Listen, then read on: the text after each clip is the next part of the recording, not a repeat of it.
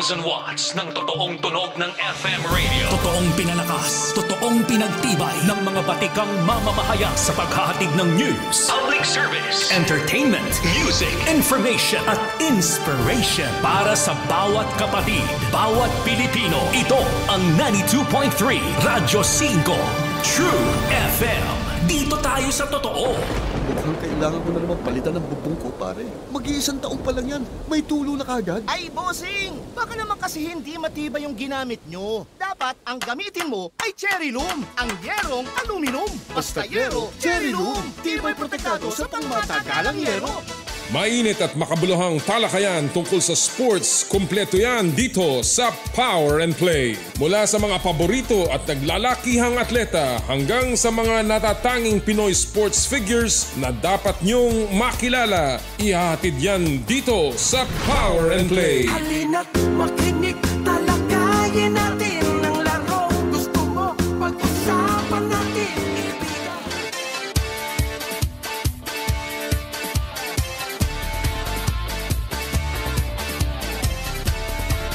kapwa ko Pilipino. Ipagmalaki ang galing na meron tayo. Ilantad ang likas nating talento. At magdala ng saya sa mundo. Sa harap ng pagsubok ay di susuko. Para sa pangarap tayo'y porsigido Magpakitang gilas na at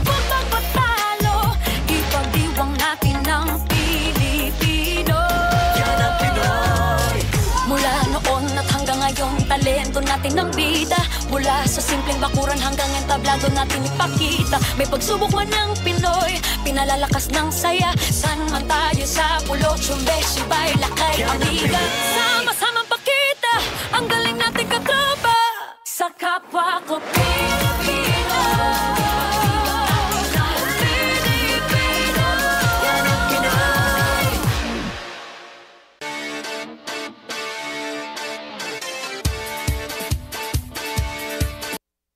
Halina't makinig,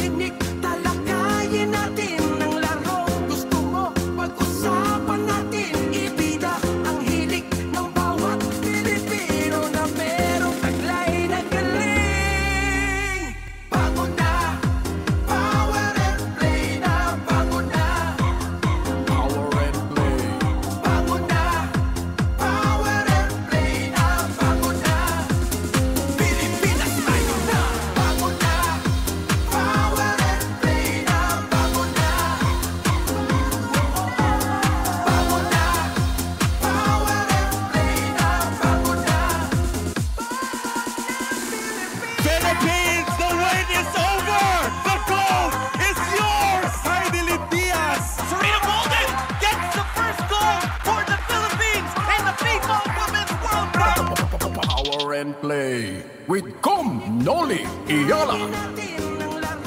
Power and Play is presented by Cherry Loom, ang yerong may aluminum. Cherry Tigo, there's more to our cars. Joyride, ang bago ninyong kasundo. And Arena Plus, astig sa sports. Hoy, magandang magandang umaga po sa inyo lahat mga kapatid. Nako, nagbabalik po ang inyong paboritong kasama sa Almusal tuwing Sabado. Ito po ang Power and Play. March 16 at uh, naku, marami po tayo mga pagbabago dito sa ating ah, palatuntunan sa inyong pong kasa- paboritong kasalo sa Almusal tuwing Sabado. Bumabati po Noli Iyala at ah, kami po ay nagmumula sa TV5 Media Center sa 1PH Studios dito po sa Mandaluyong. Kamusta po kayong lahat ng ating mga ah, suki ng mga tagasunod po ng Power and Play. Ah, halos pitong taon na tayo. Lalong-lalo na po dyan sa mga pauwi po ng kanilang mga ah, ah, ah, bahay o hindi kayo papasok sa kanilang mga tanggapan, yung mga nakasakay sa taxi, yung mga nakikinig po sa, sa Joyride car and of course sa Joyride taxi. And oh, yung pong mga nanonood po sa atin sa 1PH on Signal TV. Kamusta po kayong lahat? Lalong-lalo na ha, yung mga nasa emergency room, yung pong nasa mga terminal ng bus. Eh, kamusta po kayong lahat? Binabati po namin kayo ng isang magandang umaga. And of course, worldwide na nakatutok po sa 1PH on uh, On Facebook, kasama na rin po ang Radyo 5 92.3 True FM at of course ang FB page ng Power and Play. Mer- meron po tayo mga ilalabas na mga bagong segment ngayong araw pong ito in our continuing effort to evolve, ika nga, para lalo pong lumalim ang talakayan, para po lalong magsaya tayo dito sa inyong pong palatuntunan, and of course, para po lalong lumawak ang discourse at narrative dito po sa ating show.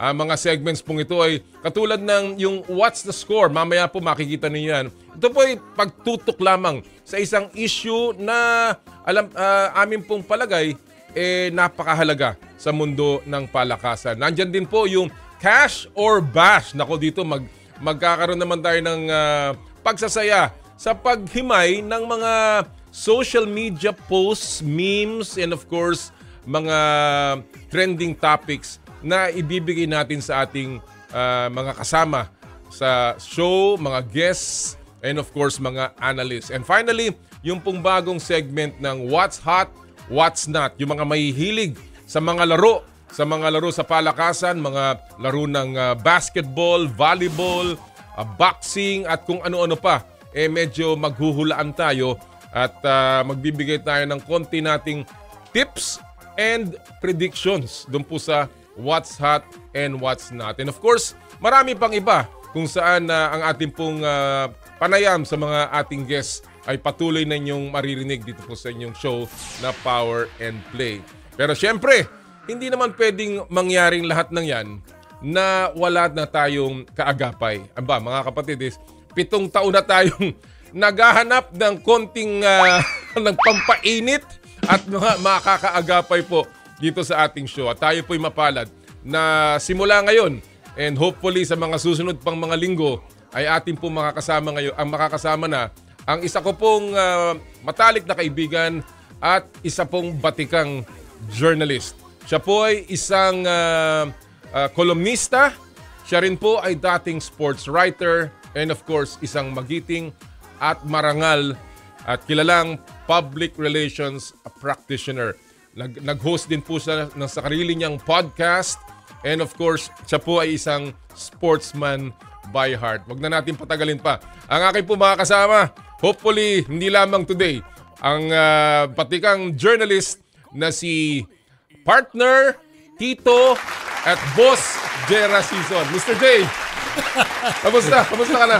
Bati ka muna sa ating mga viewers. Ah, magandang umaga sa inyo lahat, no? Ah, isa pong karangalan sa akin 'to na ah, tawagin ng aking kaibigan at partner, Com Chairman na Noli Iyala at ah, alam niyo ah, ako'y natutuwa at ah, binigyan ako ng pagkakataon ni partner Noli no na maging ah, partner niya dito sa programang ito dahil talaga from the very start eh ang tawag nga dyan eh, nasa DNA ko na Yeah. talaga ang ah, sports, no?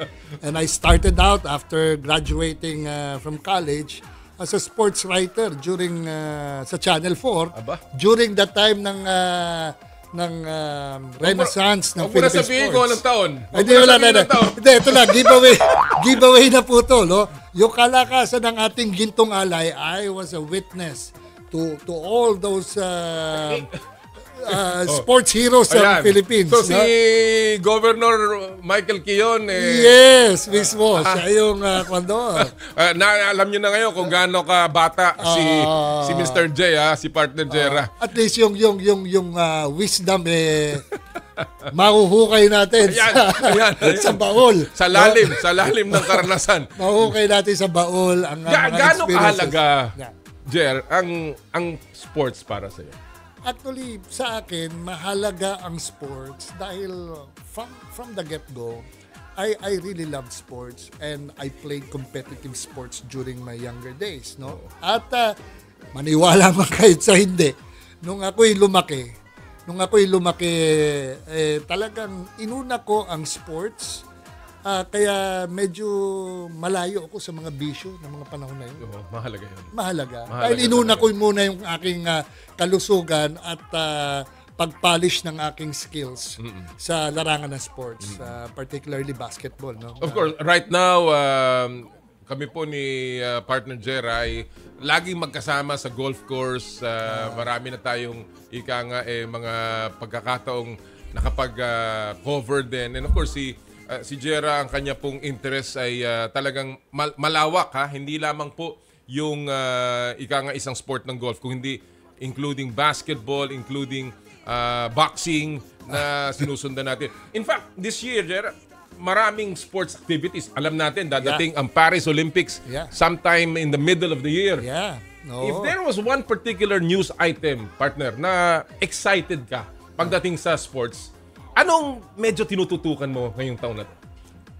Actually, ang uh, tinututukan ko pa rin at palagay ko eh, karamihan ng uh, ating mga mga mamamayan ay talaga basketball. No? Oo. Kaya maliban dito sa ating uh, Gilas team, nandyan ang uh, uh, PBA Of course. and at the same time, yung isang emerging na liga ng basketball, Oo. yung MPBL, na Yan. magbubukas Nako. na yata ngayon, di ba? Yun ang mabigat. Ah, At yan din po mga kapatid ang ating tututukan dito po sa ating bagong segment na tinatawag nating What's the Score? At ating pong sisimulan ng ating huntahan dito po sa segment na What's the Score?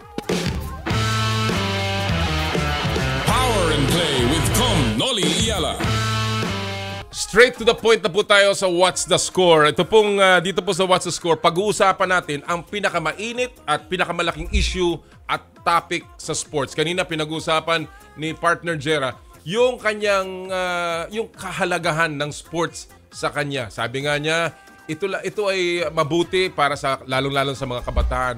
Pero lately mga kapatid, eh, alam natin na ang sports ay nagtuturo ng values ha. Uh, uh, at of course, hindi lamang physical fitness, pero yung tamang asal at tamang uh, pamumuhay sa pamamagitan ng disiplinang dulot ng sports. Pero, meron din pong mga pangyayari sa mundo ng palakasan na nakasisira dito po sa mga values na ating pong pinangahawakan pagdating sa sports. Kung matatandaan nyo po, nagpataw ng ban ang MPBL sa apat na pong mga manlalaro at officials dahil sa dahil yan sa issue ng game fixing. Kung tutusin hindi lang sa MPBL nangyayari ang game fixing. Matagal na rin yung problema at na-issue sa iba't ibang mga liga sa bansa. Mismong sa PBA, ah, kinumpirma ni Commissioner Willie Marshall noong isang taon na pinaiimbestigahan niya ang umano'y match fixing scandal. Noong 2021, inakusahan din si dating San Miguel 3x3 player Daniel De Guzman ng game fixing pero itinanggi niyan ng manlalaro. Umabot pa nga sa Senado ang issue na yan at nakiusap ang ilang mga senador sa Games and Amusement Board para solusyonan ang problema. Kaya ang tanong natin sa What's the Score? Paano nga ba masusolusyonan ang problema ng game fixing? At very relevant to mga kapatid sapagkat magbubukas ngayong araw pong ito ang MPBL ng kanilang sixth season, I believe, no? At ah, lumalaganap na po, nagdagdag pa sila ng dalawang teams mula sa Abra at Pangasinan. And yet, sa gitna po ng lahat ng ito, eh may apat na pung, apat na put pito na mga malalaro at opisyal na na-flag ng MPBL ah, dahil po sa game fixing issue. Kaya po pag-uusapan namin ni partner Jer. But before that, uh, uh, Jer, may ma- ang dami na nangyari in the past Yeah. na game fixing. Isa-isahin ko lang ito ha, para lang ma- maintindihan ng ating mga kababayan. Alam niyo po, ah, recently of course nabanggit natin yung sa tungkol sa MPBL.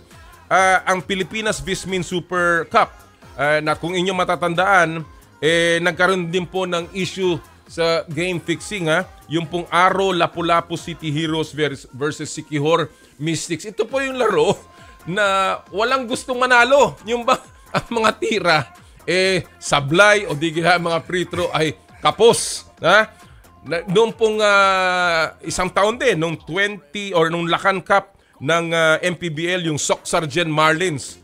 Nako, eh 0 and 18 ang record. Ano pong ginawa ng ah, ng MPBL? Pumasok po dito ang NBI at nag-file po ang MPBL ng 17 counts of betting and game fixing and point shaving cases laban sa kanilang sa team owner nung team na yon including 21 persons at tatlong Chinese national. Ha? Marami pa yan. Yung MPBL, yung Pampanga Giant Lanterns, ah, natalo sila sa San Juan in March 2020 na suspindi po dyan yung dalawang player at yan din po ay pinag, pinaimbestigahan. Yung Muntinlupa Cagers, ah, noong pong March 2020, ganun din po, 7 and 23 ang record sa Lacan Cup at hindi po natatapos sa professional leagues. Sa collegiate leagues, yung pong CEO Scorpions back in 2019, sinipa ang pitong manlalaro nila dahil sa, sus- sa suspicions again of match fixing. Sa PBA D-League, yung Milas Lechon Mighty Roasters natalo ng 47 puntos, 47 point loss laban sa Zarksburger at dahil dyan nag-pull out yung team sa kalagitnaan ng season. And of course, even our Pro League hindi po na-spare dyan sa game-fixing allegations. Natatandaan nyo ba yung sinabi ni Don Aliado na ano daw, ah, ah, areglado na yung mga laro sa PBA nung natalo po ang Barako Bull kontra Powerade kaya po siya na-fine ni Commissioner Chito Salud. Ah, yung pong nangyari, Rem, um, back in 1988, ha, ganun pong kaaga, nung iniupo si uh, Ramon Fernandez sa isang finals game against Ginebra at hindi na po siya pinaglaro dahil sa umano'y poor performance and of course pati na po yung nangyari last year na nag, uh, nagkaroon po ng kaso sa Singapore involving PBA officials uh, rather uh, team officials at mga ex-PBA Yeah. players. So, partner Chera, ito'y paulit-ulit na lamang. Kaya Bakit hindi hindi to matapos-tapos? Actually, kung madagdag ko pa yan, katulad Oh. nga ng sabi mo, yung aking mga experiences na mal- mahuhukay sa baul. but, but that, during that time, I was still studying. You know? At ah, masyadong sikat na sikat talaga ang ah, PBA noong mga panahon na yun. At ah, kung matatandaan mo, ang 1980, Chris Paredmanizers, 19-game winning streak. Oo, oh, natatanda ko yan. Ah? Napakalakas ng team yan. Napakalakas nun. Dadalawa lang yan. Yan at saka Toyota, di ba?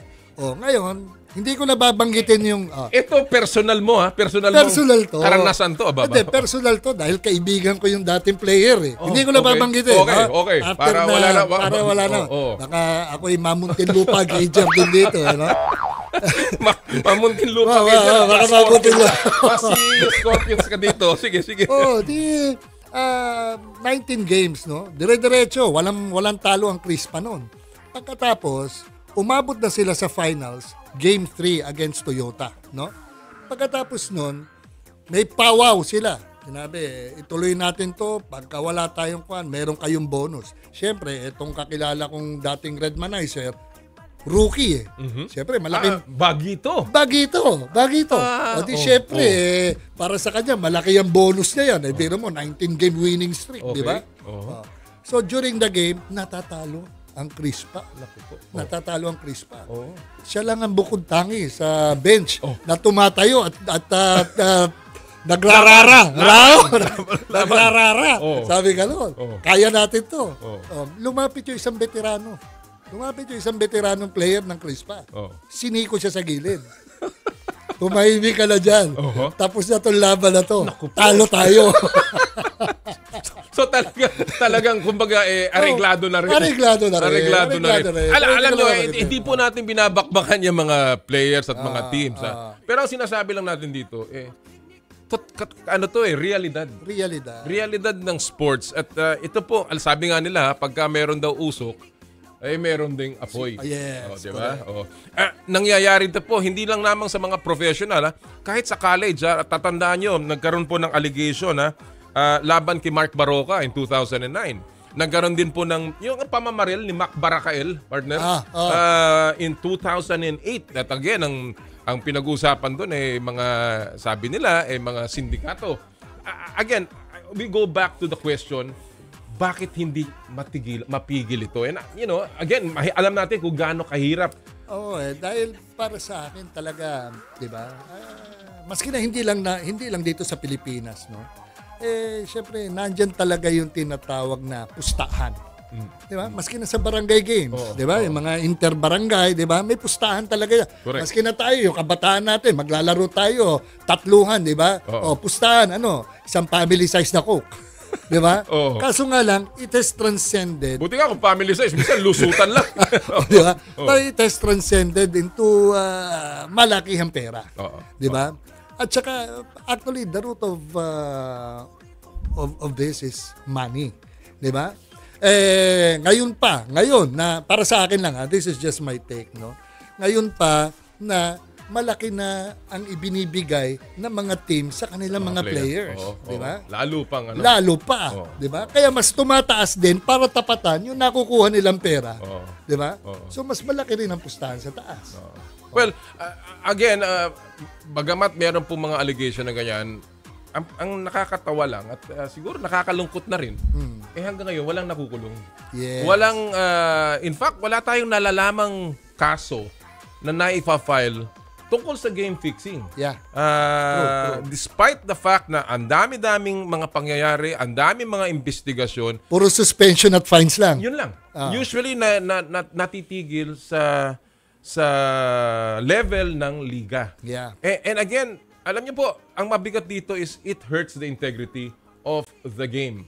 Dahil alam naman natin ng mga fans, eh, yan ang kinagigiliwan. Pero pag nakakarinig ng ganyan, eh, minsan nawawala ang paghanga at of course, ang kredibilidad ng isang liga. Pero uh, recently, partner, nag-file, uh, na, well, nakialam na nga ang Senado Ah, dito. yeah, oo. Uh, as a matter of fact, eh, hindi lamang iisa, kung hindi napakarami ng mga senador at mga mambabatas ang pumasok po dito sa isyong ito. Isa na dyan ay ang uh, chairman ng Sports Committee sa Senado, si Senator Bongo, na nag-file siya ng uh, bill, uh, Measure Against Game Fixing and also Promoting Professionalism in Sports, ah, Yeah. kung saan uh, ito ay tinalakay noong pong uh, last month. Eh, and again, this is a very good sign for uh, for the game. But ang tanong eh, mapapatupad kaya ito? Papasaba. Papasabay ang batas na yan. Pero para sa akin, maganda na rin yan dahil eh, kung hindi ako nagkakamali, eh, medyo malaki yung fine na Yes. nakalagay doon sa Oo. kanyang Oo. Hmm. ah, panukalang batas, ika nga. No? Kaya kung mapasa man to at talaga ma-enforce, it will be a very big deterrent no Oo. for for uh, any of the players or involved na mga na mga executives sa liga Oo. Kapag uh, mapatunayan na naglalaglag sila ng laro. Ah, alam mo, partner ako ha, ah, ito ha, ka- talking about experience, eh, ako nung ako Oh, tama, ikaw, ng dati, PBA, oh, yung PBA commissioner ka. eh, talagang napakaraming mga ganyang ah, naririnig ka. Yeah. Naririnig ka. In fact, meron pang mga, mga isang lugar dyan sa loob ng ah, Coliseum Hmm. na minsan na ituturo pa eh. Yung mga tao daw doon nakaupo, eh, ah, sangkot sa ah, gambling. Ah. Hindi naman sinasabi, walang sinasabi na ano. Kaya, and, and yet, ako, lagi kong tinitingnan, eh, sino ba? parang, parang kumakain lang ng popcorn yung mga yan. Partner, Di ba? partner Oh. para nagbistulang malaki sabungan, may Kristo doon sa taas. ha? Sa taas. Di ba? But again, it's it's imperative uh, upon league officials Yeah. na kahit anong mangyari, eh, pakinggan itong mga ganitong balita. Alam natin na si Commissioner Willie Marshall is ve- very Yeah, much on yeah, top of this. Uh, sabi nga niya sa kanyang isang panayam, eh, talagang kanyang uh, tinututukan. In fact, uh, sinusuportahan ng mga panukalang batas and of course, yung pagsasampa ng mga kaso. But there are other leagues, katulad ng MPBL, na sana nga, eh, alam-lalo na yan ang pag- pagmeme-ari ng isang senador, si Ah, Senator ah, Manny Pacquiao, ah, ah. na sana nga ito'y kahit papano mabigyan ng pansin pa. Actually, may may ray of uh, hope din na to dispel some of these games na sinasabing laglagan, no? If I may add lang, no? Dahil, 'di ba, tignan mo sa PBA, minsan kapag talagang labanan ng championship, umabot sa game 6, ay, kunyari, game 5 na alam mo mananalo, pero umabot ng game 6, ano sinasabi ng mga ibang tao? Pa, ano yan, nilaglag yan para kukuha pa ng mga ano Gate pero- receipts. Oo, Oo, di ba? oo, Oo. oo. Pero sa katulayan, natatalo, nananalo naman yung... ah, Masakit. Masakit minsan sa player yan. Masakit ha? sa player yun. Masakit sa player Oo, yan. di And of course, masakit Parang din sa akala liga. ng mga tao, ay hindi, pinahaba yan para humaba pa yung series. Oo. Ah, So, di ba? but, but again, at the end of the day, ultimately, ang tanong dito is solusyon. Yeah. And, and I think ang mahirap talagang solusyonan, mahirap alisin yung ganyang, ganyang haka-haka. Ang nakadagdag pa dito, partner, is yung sports betting ngayon. Ang daming mga sports betting sites ngayon Yeah, yeah, na lalo pang naging ah, motivation Yeah. para sa ilan na makialam sa mga laro. So again, sana po ang ating mga opisyal ah, ng ah, Games and Amusement Board, ah, ng NBI, and of course ng mga kapulisan at mga liga, eh talagang maging very aware of this. Kasi ito po'y ah, hindi lamang makakasira sa, sa isang karir ng isang player, kung hindi sa liga, sa credibility, and of course, sa laro mismo. Hindi po natin na sinasabing may ganyang mga nangyayari. Ang atin lang pong pakiusap, eh sana, eh, maging very vigilant ang Yeah. ating pong I mga agree. I officials. totally agree. I Oo. totally agree. Alright. Well, mga kapatid, hindi pa po tayo tapos. ha, Sapagkat ang ating pong uh, susunod naman na magiging uh, segment dito ay patungkol sa ika nga eh, mga katuwa-tuwang mga uh, social media posts and memes na gusto po nating bigyan ng komentaryo dito po sa ating bagong segment na Cash or Bash. Power and Play with Com Noli Iyala. At para po sa segment nito, eh, tayo po'y sasamahan ng isa nating kasama sa hanap buhay na ika nga eh, suki rin po ng Power and Play. Walang iba kundi ang editor ng PinoyStep.com, si uh, paring Ray Hoble. Magandang umaga, Ray! Hi, good morning, Commissioner. Eh, kasama natin dito, kaibigan mo, si Hi, Jera Ray! Season. Ah, oo. Hi, Jera. Kamusta na? Long time no see. Oo nga eh, oo nga eh. Good to see you, Jera. Yeah, yeah, you too. Eh, ito eh, pag ang pag-uusapan eh, basketball eh, walking basketball encyclopedia Eh, to. talaga eh. naman, talaga naman. Kaya kaya tayo kaya lagi natin gusto kasama si si paring Ray dito sa sa show natin. Ray, bago tayo mag-post na sa Cash or Bash, ito bagong uh, segment na to kung saan dito tayo magpapakita tayo ng mga sound bites o quotes na hahatulan mo either cash, ang ibig sabihin you buy into that uh, idea or sang-ayon Yeah. ka or bash kung walang seal of approval mo yung mismong meme. Pero bago yan, no? Ah, alam mo, napakaganda ng ah, mga nangyayari ngayon, ah, lalong-lalo na sa sa PBA kung saan yung mga nasa baba ay medyo umaangat ng konti, nagpapapanalo. Yeah, Ah, that- that's a good sign, ha? oo. Ang ganda niya. Sa tingin mo ba, Ray, ito ay magpapatuloy? Ah, I think ah, halfway medyo magbabago yan. ah. Ah, so, sa tingin ko ah, medyo magbabago yan kasi syempre when push comes to shove, dito na natin makikita yung mga team. Remember last time, Rain or Shine started with 0-5. Then all of a sudden, won 6 in a row, di ba? Aha. But uh, on the other hand, ang, ang nakikita ko rito na pwe, pwedeng ma umakyat pa ulit is is Phoenix Super Fuel Masters. Mm. Yan yung nakikita ko na ano na but but in the case of in the case of Blackwater and Terra Firma, yes, we might see some improvement sa kanila. In fact, nag-improve na nga sila uh, this early goings. Oo. Pero sa, from among those teams na mga nandito sa mga bandang sa baba, I think Phoenix Fuel Masters na nakikita ko na mag improve pa. Well, uh, of course, last conference sila ay pumasok sa Semis. sa semifinals at uh, maraming nga sanang umaasa na makapasok sa finals para maiba naman ang putay. Alam mo, very important Of course. yan. Eh, totoo yan. Diba? I, I fully agree. Kaya nga, ah, this is a very welcome development, no? Na yung mga dating uh, ini-echepwera natin sa mga teams ng PBA, eh, tinatalo minsan yung mga premyadong ah, veteranong teams ng ah, Im- PBA. Mahalaga yan. Mahalaga yan. Lalo-lalo na sa, dun sa issue ng predictability. Yes. Alright. And it dispels also yung mga haka-haka dati na, ah, farm team lang yan, kukunin sa kabila yan. Yun, yan. O, di ba? Y- yan lang naman ang ano eh. That's the only way para mawala yung ganyang klaseng haka-haka. Exactly. Alright.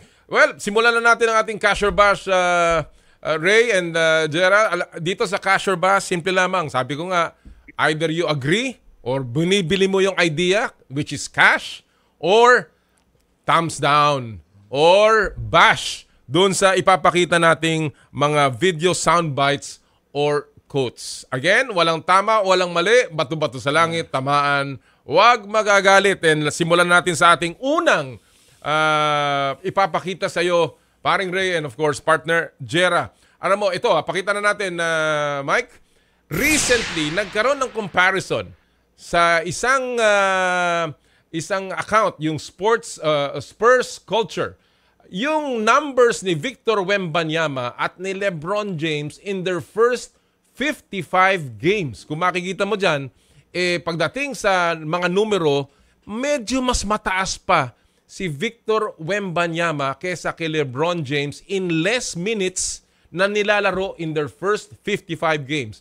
So ang tanong, sa tingin mo ba, eh, ano, Ray, eh itong si Wembanyama, eh mahihigitan pa si LeBron James, si King James sa na itinuturing na one of the greatest of all time na basketball players ng NBA. Ano sa tingin mo? Cash or bash, Ray? Well, I think it's cash, no? I I really like the upside of Victor Wenbanyama. But uh, to the question of mahihigitan pa, let us remember that uh, ang legacy ni Le- LeBron James is not just the stats itself but the longevity. 'Di ba? 'Yun ang Tanong. 'yun ang legacy ni, Le- ni LeBron eh, 'di ba? Pero yung pero when when I, when when you look at the stats of uh, Wemby, alam mo na mataas yung potential niya pero kung, mahihigitan, I don't think na it's the uh, it's a question to ask eh, no? Mm, Parang ang ang worst thing na nga uh, actually uh, commissioner, ang ini ang uh, ayaw na ayaw kong mangyari dito. Remember the case of Ralph Sampson dati? Oh, Di ba oo, napaka- oo. Oh, tama. Di ba? Di ba May rubber shoes pa ako dati. Oo, napakataas din ng upside. And look Lumalabas at what na naman edad mo.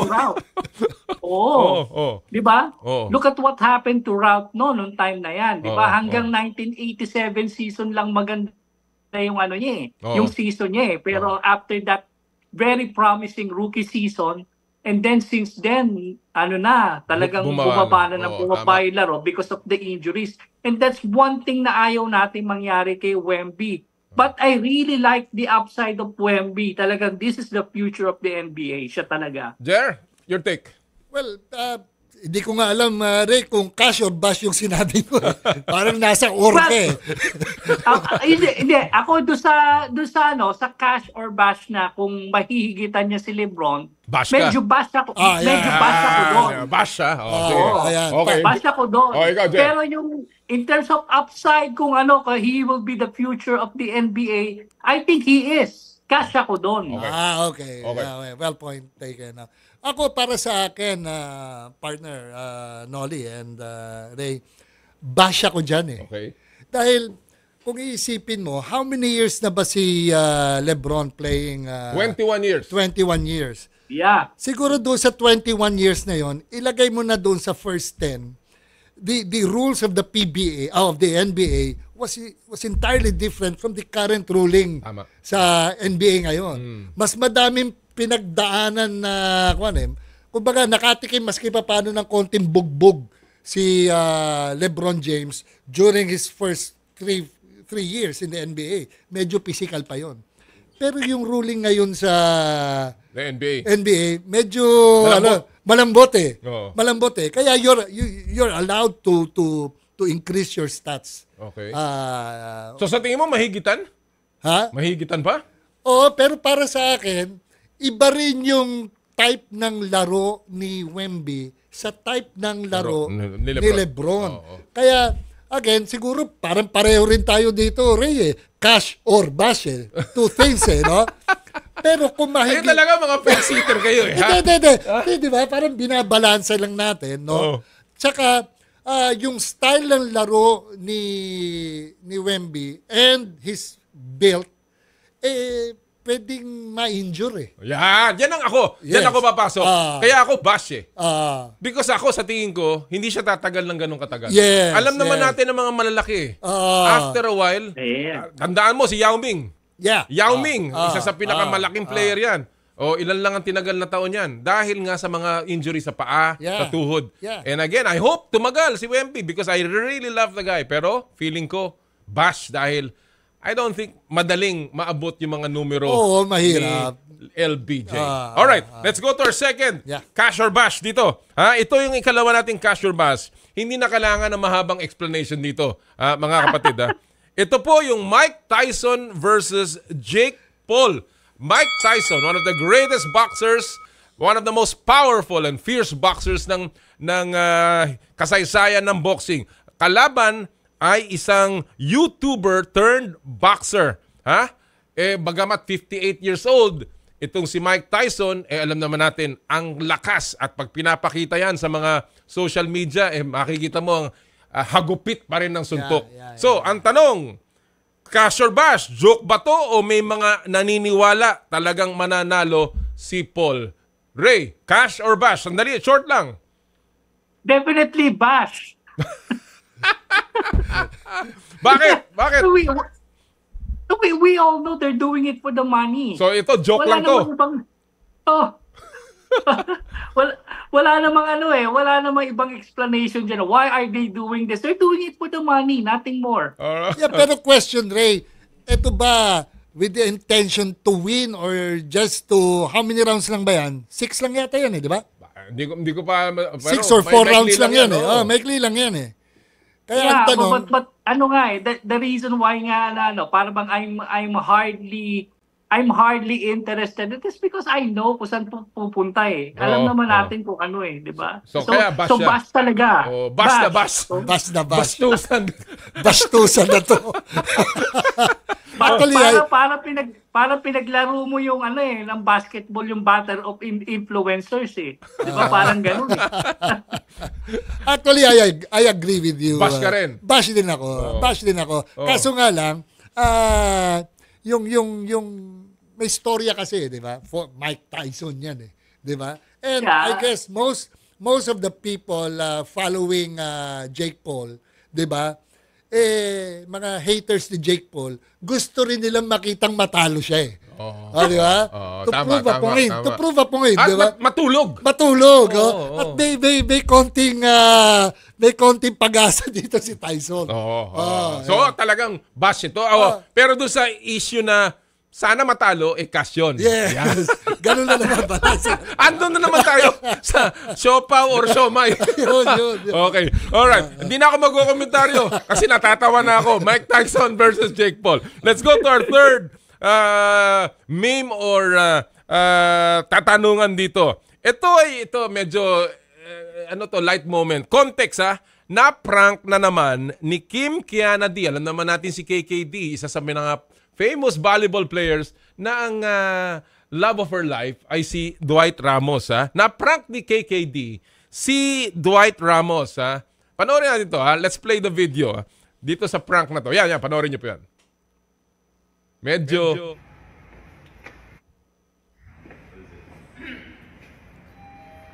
If you want to get to him, you have to go through me first.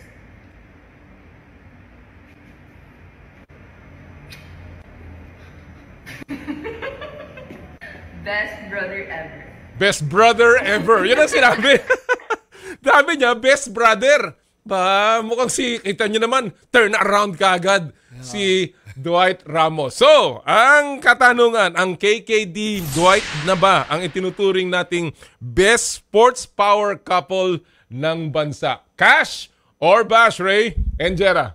Go!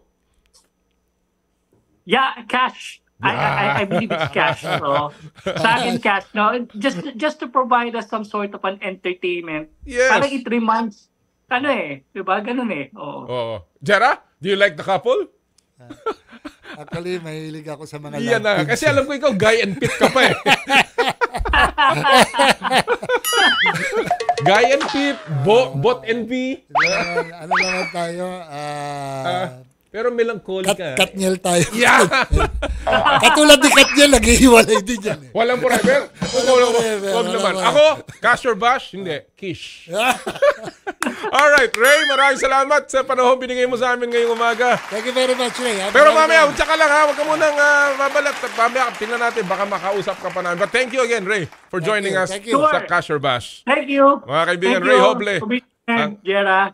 Ang isa nating ah, ka- kasama po sa Hanap Buhay. Nako, talaga po nagiinit na ang ating guntahan. And of course, ang ating pong ah, mga fun moments dito po sa Power and Play. Alright, before we take a break at ating pong ipasok ang ating mga iba pang segments at ang ating magiging panauhin mamaya, abangan nyo po, Yumir Marshall ang ating makakausap sa Power and Play. Isa muna pong paalala mula sa ating mga kaibigan sa Smart. Puso Pilipinas is a movement to celebrate the Filipino athlete powered by Smart. Follow them on Facebook, Instagram, Twitter, and YouTube. Get a chance to win exclusive Puso Pilipinas merch by sharing their Facebook page and your social media accounts with hashtag Puso Pilipinas. The Giga Life app is the latest mobile app from Smart that lets you discover and enjoy your passions with the different Giga promos. It can be downloaded and used by Smart Postpaid, Smart Prepaid, Bro Prepaid, and TNT subscribers via the Apple or Google Play Store.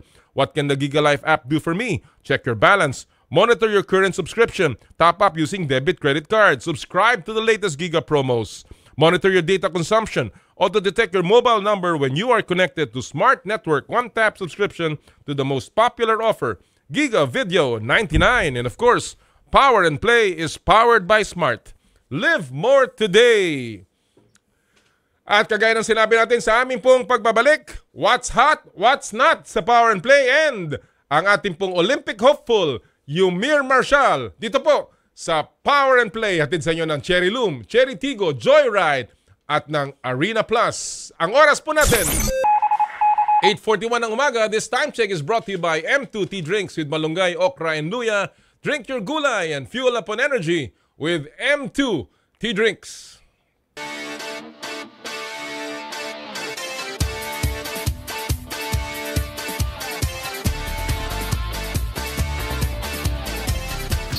I dare to dream big. To be a voice of my generation. To inspire resilience in the face of roadblocks. And in sharing my stories, I let others share in my passion.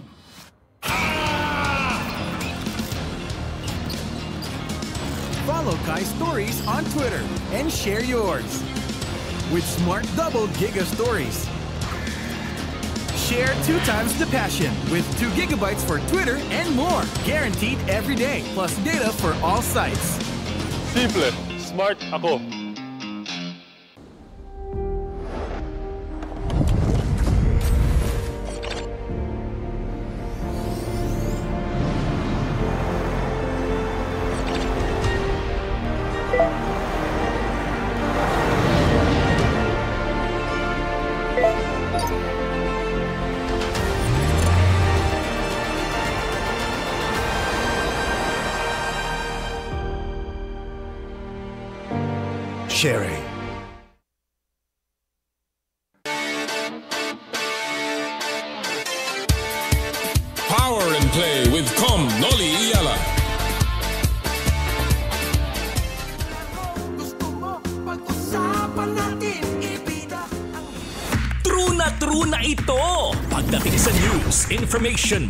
Service at entertainment sa iisang station. Dito na pala talaga kayo, Radyo 5, True FM. Mukhang kailangan ko na naman palitan ng bubong ko, pare. Mag-iisang taong pa lang yan. May tulo na kagad. Ay, bossing! Baka naman kasi hindi matibay yung ginamit nyo. Dapat ang gamitin mo ay Cherry Loom, ang yerong aluminum. Basta yero, Cherry Loom. Tibay protektado sa pangmatagalang yero. May celebration tayo! Dahil isang taon na po ang Radyo 5 True FM. Isang taon na ng totoong balitaan, kwentuhan at paglilingkod sa inyo.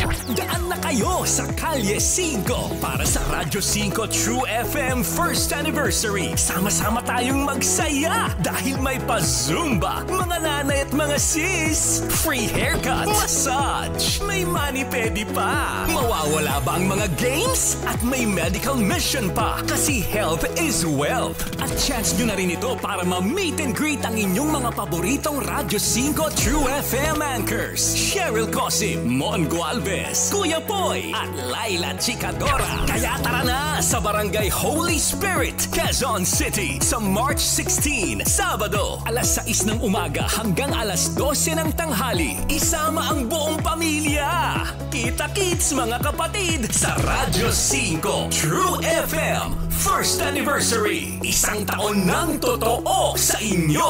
Dito tayo sa totoo. Ang Kalye 5, Radyo 5 True FM First Anniversary ay hatid sa inyo ng Barangay Holy Spirit, Quezon City at Sulit TV. Mukhang kailangan ko na naman palitan ng bubong ko, pare. Mag-iisang taong pa lang yan. May tulo na kagad. Ay, bossing! Baka naman kasi hindi matibay yung ginamit nyo. Dapat ang gamitin mo ay cherry loom, ang yerong aluminum. Basta yero, cherry loom. Tibay protektado sa pangmatagalang yero. Power and play with Com Noli Yala.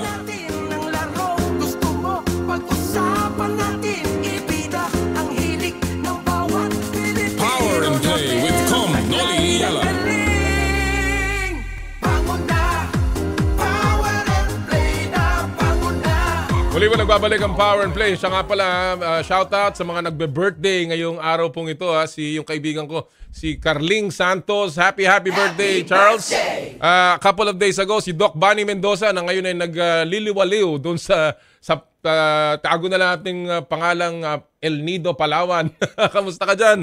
Uh, happy birthday, Bonnie. And of course, sa aking pamangkin, si Lance uh, Cruz. Happy, happy birthday, Lance. I hope you have a good one. Happy birthday sa inyong tatlo. Ayan. Alright, bago tayo, bago natin pong ipasok yung ating next segment, uh, of course, patuloy po ang pamimigay ng Joyride uh, Top uh, Super App ng kanilang mga papremyo dito po sa uh, Power and Play. Uh, of course, yung ating pong Joyride Top Up promo sa Power and Play. Kung saan namimigay po ang Joyride ng 1,000 pesos JRP wallet credits. Simple lamang, download the latest version ng Joyride Super App, kuhanan ng screenshot ng app's home screen kasama ng inyong pangalan, at ipadala po yung screenshot na yan sa Power and Play Facebook page via private message. Isama nyo po yung inyong pangalan, registered mobile number, at kami po ni Jera ay pipili ng limang mananalo ng uh, 1,000 pesos e-wallet credits para Ayan, magamit ha? sa delivery yan. ng. Joyride, yung pong Joyride Taxi, Joyride Car, at yung Joyride Super Taxi. And hindi pa dyan nagtatapos, partner, ang pamimigay ng Joyride. Meron pa tayo yung Aqua Flask, limited edition Aqua Flask na gagamit namin ni Jera yan sa Oo, mga golf. Saktong-sakto. Ngayon, summer, kailangan nyo Ayan ng na. to hydrate. Exactly. Simple lamang po. Ah, again, mag-book ng MC Taxi or ng Joyride ah, car, kumuha kuhanan ng isang magandang picture, yung mga selfie, creative picture, kasama ng rider o driver, at ipadala yung picture na yan sa FB page ng Power and Play. Kasama po yung hashtag of the week. At ang ah, kami po ipipili na mananalo. Ang ating hashtag of the week ngayon ay hashtag Let's Joyride. Aba? Let's Joyride. Maganda yun ha. Hashtag Let's Joyride ha. Yan po ang ating hashtag of the week at ah, para po dun sa limited edition Aqua Flask. Alright, mabilis ang ating pacing dito eh ah, sa, sa Power and Play. And of course, ah, sabi natin may mga bago tayong segments. Isa na naman ang ating ipapa eh, i-introduce sa inyo lahat mga kapatid. Ito mong tinatawag naming What's Hot, What's Not.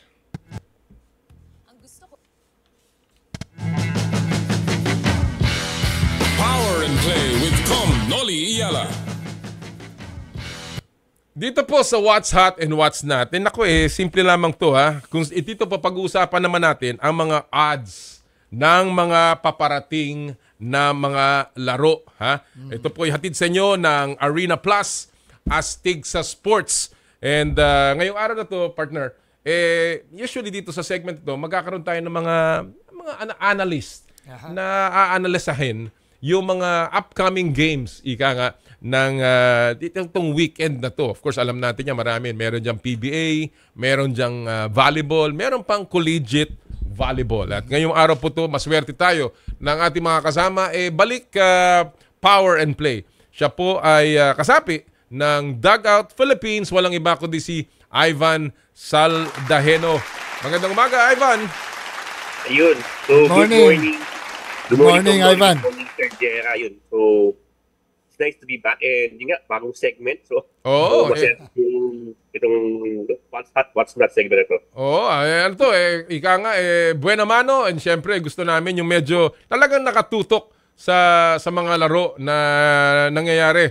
And of course, mga tinututukan ng ating mga mga viewers and of course ng ating mga sports fans. Ivan, simple lamang dito sa ating What's Hot and What's Not. Pag-uusapan natin ang ilang mga laro. Hindi naman ito ika nga eh gospel truth. Kumbaga eh, atin lamang ito mga haka-haka, ating mga predictions and of course, bahala na ang ating mga kaibigan, mga ah, mga fans kung sila ay maniniwala sa mga ating mga tips na ibibigay sa kanila. Partner, eh, ikaw ba pag mga ganito eh mahilig ka ba dito sa mga ba may konting 25 centimos ka diyang itataya? Malaki na ba yan sa iyo? Noong araw, malaki yun. Hindi, hanggang mal- mukhang, mukhang, ma- magkano na ba ngayon ng ending? anyway, Ivan, ito ang ating ah, unang ah, ika nga ah, topic o unang ah, gusto naming bigyan mo ng konting pag, ah, paghimay. Wala pa ring talo ang UST Golden Tigresses sa UAAP Season 86 Women's Volleyball Tournament. At uh, of course, merong isa pang nalalabing laro sa kanilang schedule kontra sa medyo sumasadsad na Adamson Lady uh, Falcons. Ang tanong, tuloy kaya ang unblemished record ng UST mamaya kontra Adamson? Ivan, ano sa tingin mo? Sa what's hot and what's not? I it's yes. I believe na UST will beat Adamson later. So I'm Yun. uh, leaning to yes. So tingin So, mo, yun, ang mas maganda actually sa UST kasi I just read this article from Varsity na oh, this week din pala ang bro, this week din pala yung kailang prelims week. So I'm really happy to see this ca- these people, this UST team na hindi lang sila sa sports nakapunta punta pa din sa, sa sa prelims sila sa exam nila. So parang why that's why they're student athletes. They're student first, athlete second. So I hope that they win today and nga, parang also I'm also lauding them na kahit na kasi sa pag-aaral kasi na, mag-review and everything they still they still focus on that goal na break this this long drought of championship for UST sa UAP. Alright. Well, uh, partner, taga UST ka eh. Eh, kaya nga, eh. kaya go usti ako. Hot, eh. hot ba ang usdi? Hot yan. Hot na Even hot, the ah. players are hot. no, no. Ay, uh, seriously, no? Eh, ako palagay ko, ta- ta- talagang mananalo sila against sa Adamson. Unang-una na, sa kanila na yung momentum. Tama. At uh, Tama. maganda rin, eh, hindi dati palagi eh, U, uh, Ateneo, Lasal, UP, NU. NU. Oo. Oh, ngayon, uh, palagay ko, May bago. uh, panahon na rin ng usti. Yan. Yan, sa volleyball. Mara- maraming nag-aantay niyan. And of course, uh, right now sa akin, they're the hottest team sa sa UAAP Women's Volleyball. Uh, Last time na nagkampiyon ng UST was about this, ganito rin ang kanilang performance. Yeah. They were winning all their games back, I think, in se- season 72, season 73. And I think it's a good sign na hot na hot ang UST Golden Tigresses. All right, let's go to our second topic. Ito naman ay tungkol sa PBA. Ivan, kung saan maglalaban, nako ha, ang, ah, ang mga Blackwater Bossing at ang Terra Firma Jeep. Ang Bossing at Terra Firma na mga dating nangunguna sa standings. Ha? Magiging tambakan ba to o under 10 points lang ang magiging pagitan ng final score nitong dalawang koponan na ito. Dahil alam naman natin ha, eh yan dalawang yan eh kahit papano nagpapakitang gilas Yeah. ngayon. Ivan, what's hot or what's not? Sa tingin mo ba 10 points lang o mag, ang, pag- ang magiging score nitong dalawang to o mas malaki pa? Ano sa tingin mo? I'm gonna be leaning to more than 10. So, More than 10? More than 10. More than- Kasi ito lang ito, based on based on that latest trajectory kasi yan. Pabalikan ito yung topic niya with with Coach Ray earlier about sa sa sa, sa, sa Blackwater and Terra Firma na yes, they're surprisingly red. They're surprisingly quote unquote hot na Hot. Oo. ang lagi na sa ilalim ng dating yun. Sila ang Yeah. number, dahil natalo si Neva kagabi, sila ngayon nasa top, nasa number one, type for number one, and Firma is 2 and 2. Parang, they're, this could be, their, this could be their, it could be it for them. Pero, if there's one game that will decide na they'll be good enough for the long run, ito na yun siguro. And with that, with Terra Firma losing back-to-back games and and based on the trajectory ng Blackwater na yung mga panalo nila, panalo nila or at least the last wins, eh, puro tambangan. I believe Blackwater will Terra Firma by Big, pero who knows, di ba? Terra Firma can also beat Blackwater. pero Yeah, nga, yeah, I'm yeah, yeah. Blackwater Totoo winning yan. by more than 10. Unpredictability partner. What's hot, what's Yeah, not? yeah, yeah. Blackwater Bossing, tsaka Terra Firma Jeep. Ako, uh, palagay ko, uh, under 10 points yan. Eh. Ah, Dikit, ha? Dikit. Dikit yan. Dikit. Dahil uh, uh, they're out to prove something. Eh. Number one ang pinag-uusapan. Eh. Di ba? Kaya talagang ibibigay nila lahat. Oo. Hindi sila papayag na matatambakan. Sana Either or. ha? bi- bigyan na rin ni Boss Jose Dusi ng malaking bonus. ang- Yun. Ang Blackwater Bossing. Dahil hot na hot ng team ni Yeah. uh, Jeffrey Carriazo. Ako, I, I agree. Uh, hindi to over 10, under 10, Ah. 10 points. I think both are hot, but ang Blackwater is hotter. At lalong-lalo na, as you said, nasa kanila ang momentum. Yeah. Let's go to our final topic, uh, Ivan. Uh, bukas, a conference debut naman ng Magnolia na napunta sa finals last conference. Kontra yung winless Converge na alam naman natin, eh, parang naghahanap lamang ng uh, draft pick na sa susunod na taon. Sino kaya ang magpapakitang gilas para maging top scorer ng Magnolia Hotshots? Sinong hot? Sinong hindi? Who's hot? Who's not? Ivan.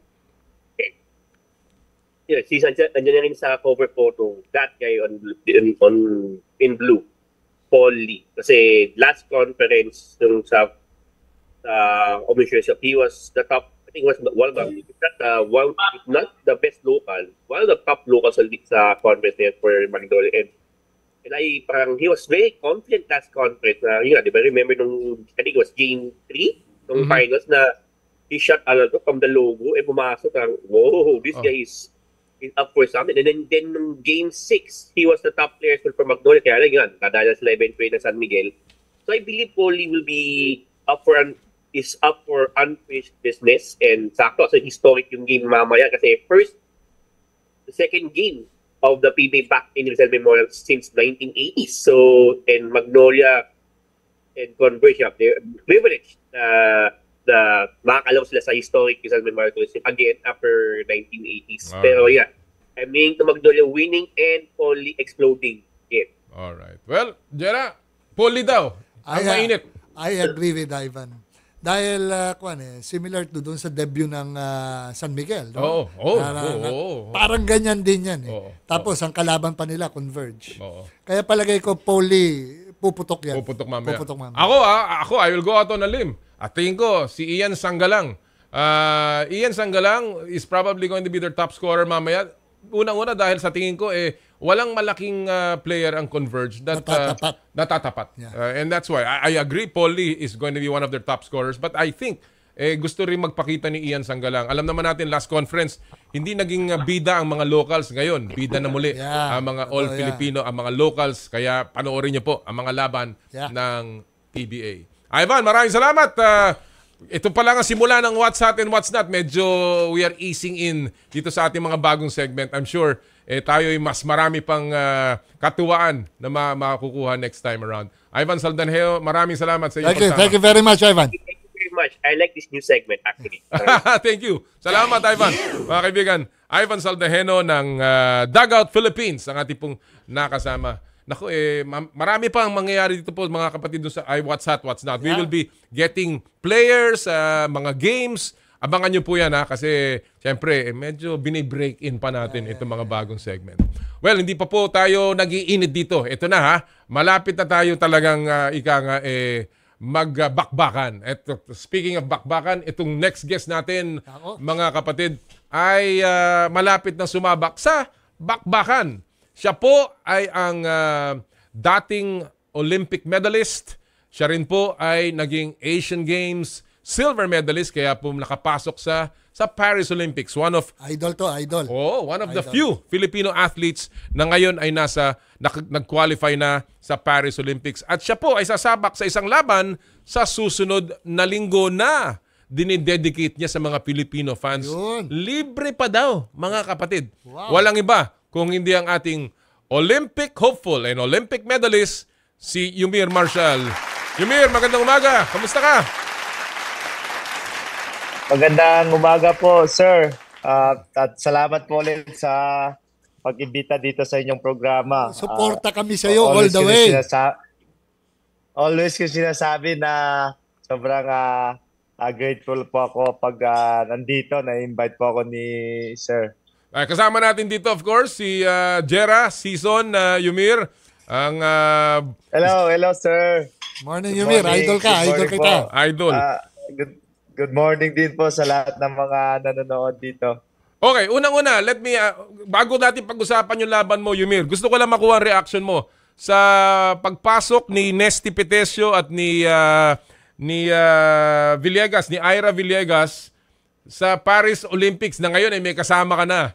Ah, ano ang reaction mo na ikaw ay meron ng at least kakamping mga boksingero na lalaban din sa Paris Olympics?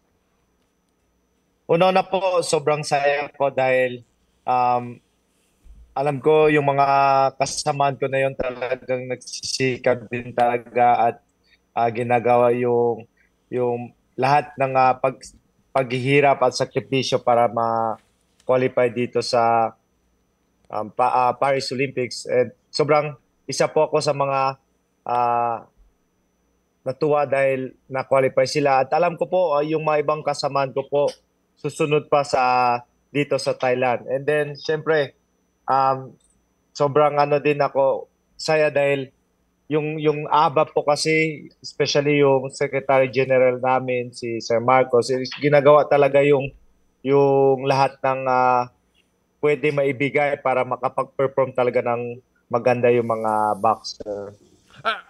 Although nakapasok na nga si Nesty at saka si Ira, yun sa kalalakihan, sa men's side, eh medyo ah, hindi pa nakakapasok, including ang dating ah, medalist sa Olympics, si Carlo Paalam.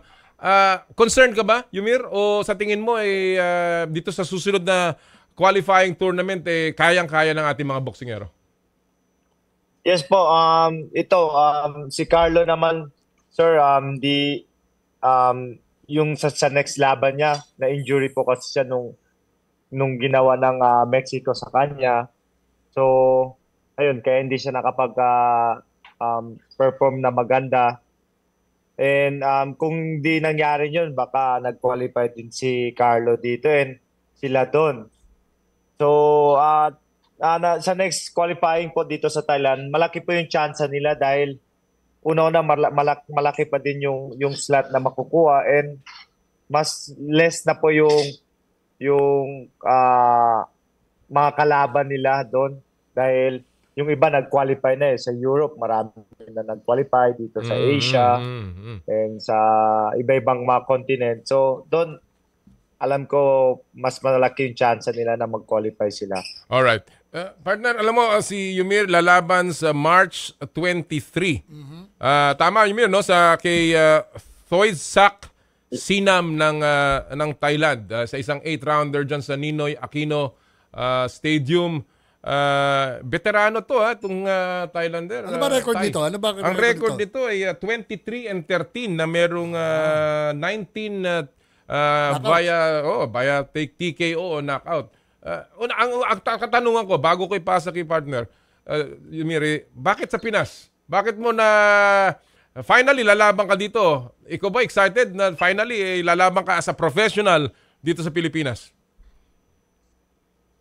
Yes po, um, una sa lahat po, sir, um, matagal ko na po itong pinapangarap na makalaban dito sa Pilipinas. After after SEA Games 2019, nung uh, siyempre amateur yon sabi ko, um, gusto, gusto ko lumaban dito sa Pilipinas na professional naman and main, ako yung main event.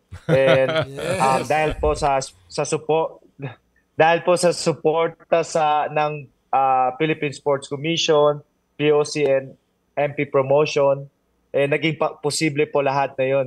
So, um isa, i- itong laban ko na to ay preparation ko na din to na sa sa Paris Olympics dahil Mhm, mhm. uno na um, after ko mag-qualify last year, wala na po akong tournament.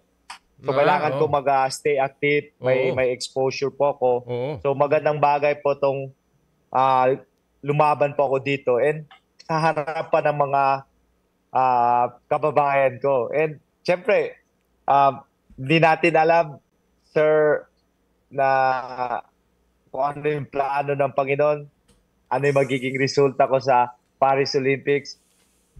Kung ibigay niya yung gold sa akin, baka hindi na ako makalaban dito, baka sa US na lahat yung yung laban ko. Kaya um, samantalan ko na din tong pagkakataon na to na ngayon na makalaban po ako dito at ma- may pakita ko po sa, sa ating mga kababayan yung na dito po ako lalaban. Okay, eh, okay Yumir, no? Ito lang, para lang ah, maintindihan, malaman, at maramdaman ng mga Pilipino na sumusuporta sa iyo dito sa laban na to, pakisabi nga sa kanila kung gaano ka-importante, anong nararamdaman mo deep inside you kapag maraming mga Pilipino na talagang rooting for you Nanonood. na manunood para manalo ka sa laban na to. Pakisabi sa kanila. Um, alam niyo sa lahat ng mga Pilipino na sumusuporta sa akin and sa aking, sa aking page, sa aking ah, social media account na nakikita ko po na yung healing nila na sana mapanood nila ako na lumaban ng live and nakikita nila pag lumalaban ako talagang ah, um, future world champion daw para sa kanila. Yun po yung mga nag yun po yung nagbibigay sa akin ng inspirasyon sa araw-araw na pag-ensayo ko.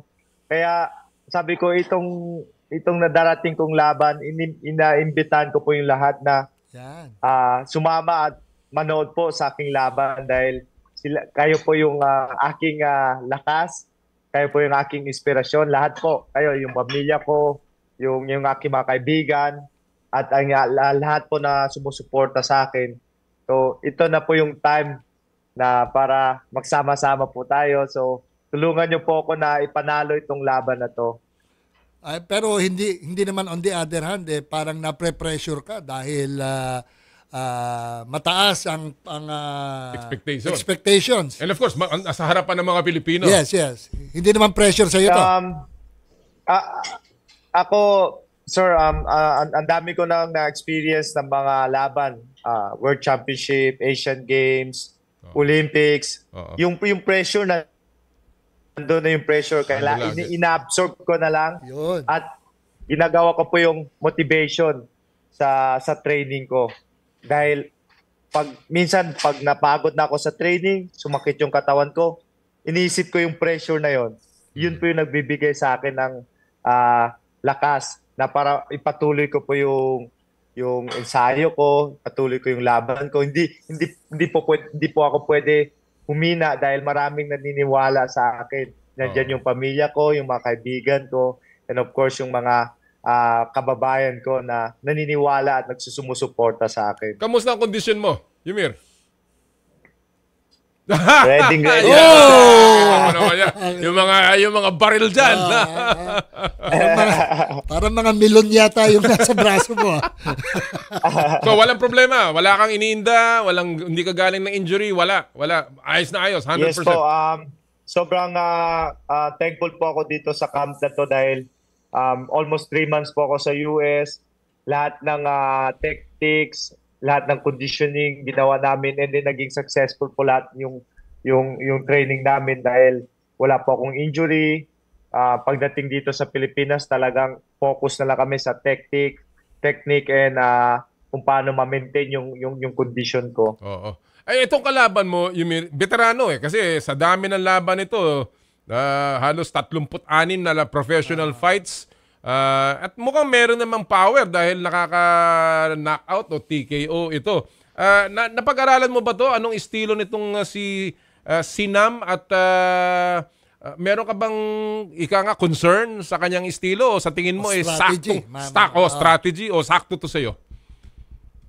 Um, yes po, um, sir, dahil um, talagang pinag-aralan talaga namin yung yung kalaban ko na to dahil um, alam ko ah, hindi na hindi to bastang-bastang kalaban talagang inilagay inilagay po to sa akin dito dahil parang test po talaga to sa akin nasa light heavyweight na lalaban ako sa Olympics so itong lalabanan namin ngayon is super middleweight Mm. So malapit lang doon sa weight class na kung ano yung lalabanan ko sa Olympics. Kaya ano um test po to talaga to sa akin and talagang pinag-aaralan po talaga namin ng, ng kasama yung yung team ko dahil yung experience hindi nyo di natin pwede bas, baliwalain eh. Dahil marami mga boksingero na ah ah, ah, nahirapan Ah, kahit sobrang galing sa amateur, sa pro pagdating sa mga ex- eksperyensado na boksingero, nahihirapan sila dahil iba po yung yung eksperyensado na boksingero dahil yung yung taon, yung laban na pinagdaanan nila sobrang haba na po. Pero pero Yumir para lang ah, sa mga nakikinig at nanonood dito sa programa at yung mga nais ah, panoorin yung laban mo. I-describe mo ba kung anong style nitong kalaban mo? Is he a brawler, a boxer na parang ah, ipaikot-ikot? Ano ba style nitong kalaban mo? Si Sinam. Si Sinam.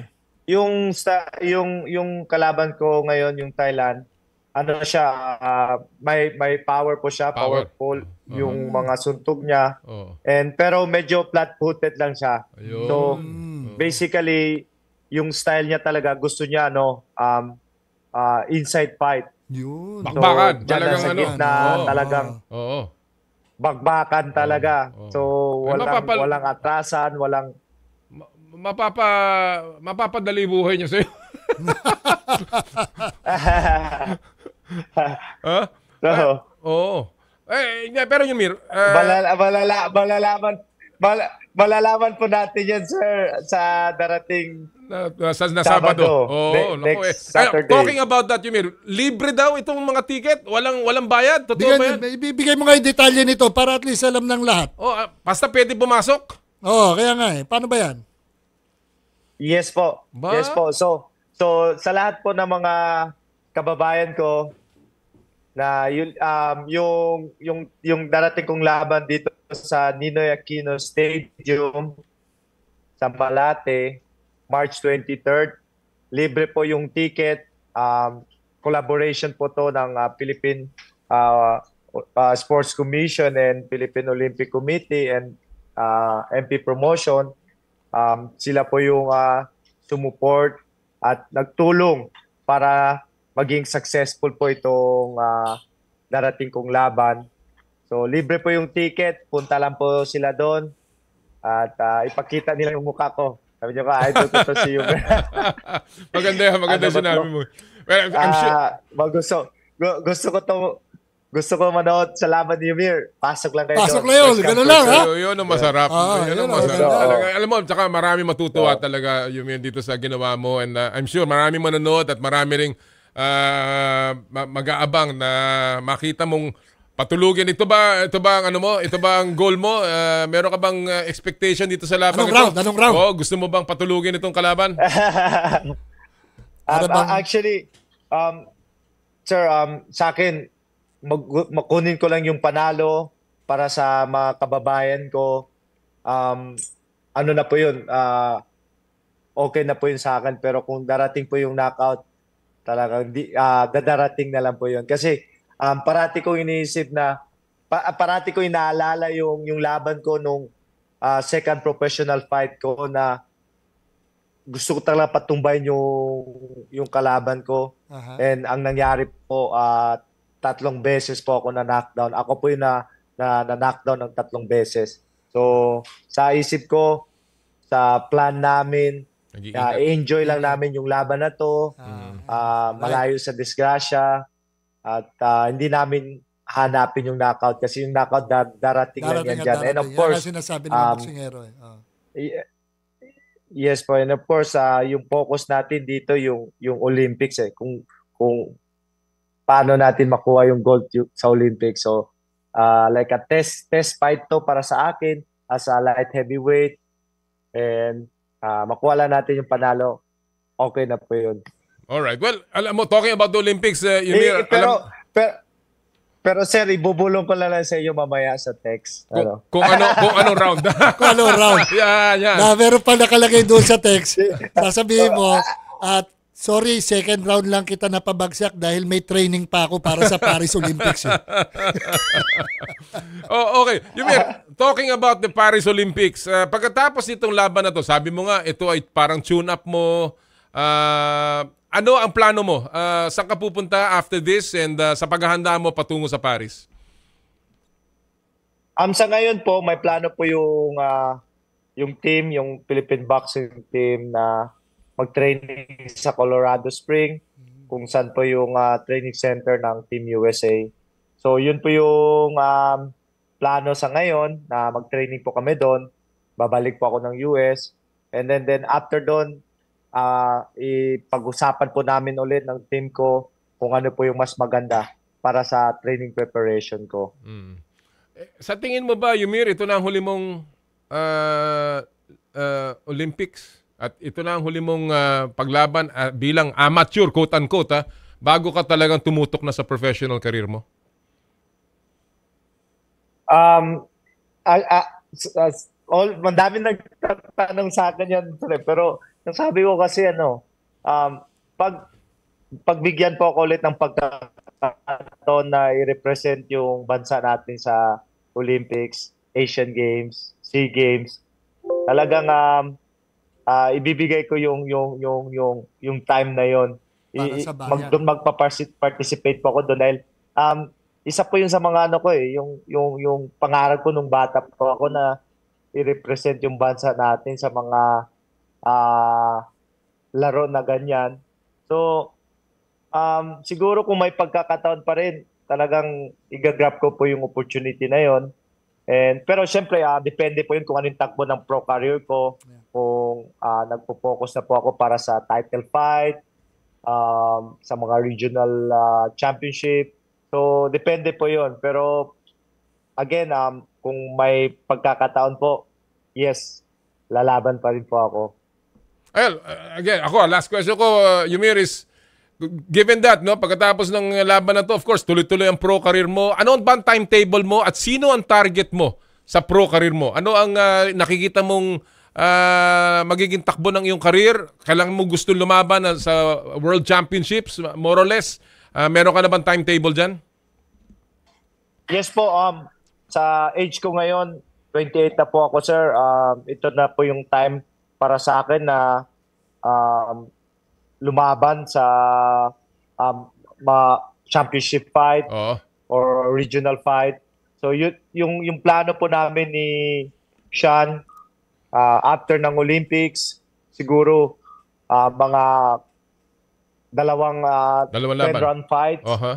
Yes po, depende kung ano yung magiging performance ko, ano yung magiging... Kasi kailangan ko mag-gain ng experience ng mahabang ah, rounds eh. Mm. Para, kasi pagdating natin sa ah, World Championship, talagang kailangan pulido po tayo na ah, yung experience natin nandun na lahat. So, ayaw ko din na pag lumaban po ako ng World Championship, talagang ma- lalaban lang po ko and hindi ko makuha yung world title. So gusto ko po habang step by step na habang paangat po ako dyan sa World Championship fight, nag-gain po ako ng experience, ah, lumalakas po ako, nadagdagan po yung yung yung ah, boxing technique ko. At pagdating ko doon sa world title, wala po akong excuses na ah, kulang pa yung experience Tama, ko. tama. Ah, bago lang ako. So, talagang pagdating ko doon, talagang ready ready na ako. Ah, So, sige, sige, Yumir. ayun, Those- ah, ito po yung ito Go ahead. Sige. Sige, partner. Go ahead. Hindi, uh, kwan lang Yumir. Sinasabi mo eh, kung sino yung tinatarget sa World Championship. Sino ba tinatarget mo na gusto mong labanan na champion ngayon? Sa division mo? Um, sa ngayon po kasi sa weight class ko po, ah, sa weight class ko po, yung champion, um, yung Kazakhstan, Mhm. ah, si Alin Kanuli, and um, may may mga bakante pang belt na bina, binakantehan ni GGG ngayon. So marami, Golovkin. ang hirap Golovkin. sabihin kung sino yung ita-target ko ngayon dahil before sa world champion, maraming mga mga boxer na sumusunod, yung mga ranking fighters. So, kung nakikita ko yung sarili ko ngayon, malayo pa ako dun eh. Oo. Malayo pa ako sa kanila. Pero, syempre, um, target ko po na makalaban po yung ah, yung world world champion sa weight class ko ngayon. Okay. Okay. Well, Yumir, uh, again, uh, kami uh, patuloy na sumusuporta sa iyo and of course, uh, we wish you uh, good luck din sa laban mo sa Sabado. Eh sana nga ay uh, mapasaya mo ang ating mga kababayan and of course, all the best sa iyong paglalakbay patungo sa Paris. Maraming salamat sa pagsama sa atin ngayong araw na Yumir. to, Yumir. Thank you so much, sir. And thank you again sa pag-invite dito sa Power Play. Uh, mara- maraming maraming salamat po sa inyo and hope to see you po, sir. Okay. Okay. Maraming salamat. Mga kaibigan, ang ating pong Olympic uh, medalist and of course, uh, ngayon ay uh, of course lalaban sa kanyang panglimang uh, pro fight. Dito po sa Pilipinas, ha, libre po yan. Ha. Next Saturday, ang kanya pong uh, makakalaban isang Thailander, uh, Thai. uh, at uh, ika nga, suportahan po natin si Yumir Masya. Magandang laban niya, partner. Ah, maganda. Magandang laban niya. Bakbakan niya. Sa tingin ko, hindi tatagal eh. Ha, What's hot or what's not? Ako ha, below 8 rounds. Ah. Knockout to, knockout sa Ako tingin rin. ko. Yun rin ang pakiramdam ko. Kung sinabi niya ano na flat-footed eh. Oh, iniintay ko pa nga yung text eh, kung anong round eh. Alright, bago po tayo mag-break, silipin muna natin ang ating mga viral videos at uh, pop culture sa mundo ng palakasan sa Stop and Pop. And play with Com Noli Iyala. Ang uh, ating pong Stop and Pop ngayong linggong ito, ang video po natin ay pinamang, pinamagatang uh, Makapigil Hininga. Makapigil hininga, mga kapatid ha. Dapat naka-toothbrush ka niyan. Kaya, kasi delikado. So, kaya ito ha, ah, panoorin niyo po itong ating video. Talagang ah, mapapa-inhale kayo ha, ng matagal dito sa dahil free dive pool na ito. Ha, nakita mo naman yan ha. Hindi po yan para sa mga mabilis magpanik dahil kakaibang concentration at tibay ng dibdib at baga ang kailangan sa napakalalim na pool na yan. Literal na makapigil na hininga. Wow! Wow! Way wow pa eh. Alright, sa amin po pababalik ni Jera, ang ating pong makakausap ang Pangulo ng Philippine Olympic Committee dito po sa Power and Play. Hatid sa inyo ng Cherry Loom, Cherry Tigo, Arena Plus at Joyride. Ang oras po natin, 9.21 ng umaga. This time check is brought to you by M2T Drinks with Malunggay, Okra and Luya. Drink your gulay and fuel up on energy with M2T Drinks.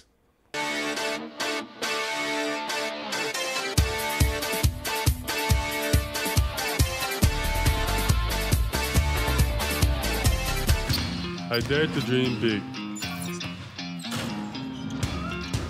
To be a voice of my generation. To inspire resilience in the face of roadblocks. And in sharing my stories, I let others share in my passion.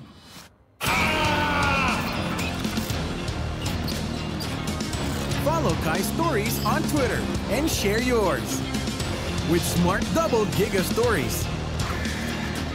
Share two times the passion with 2 gigabytes for Twitter and more. Guaranteed every day, plus data for all sites. Simple, smart ako.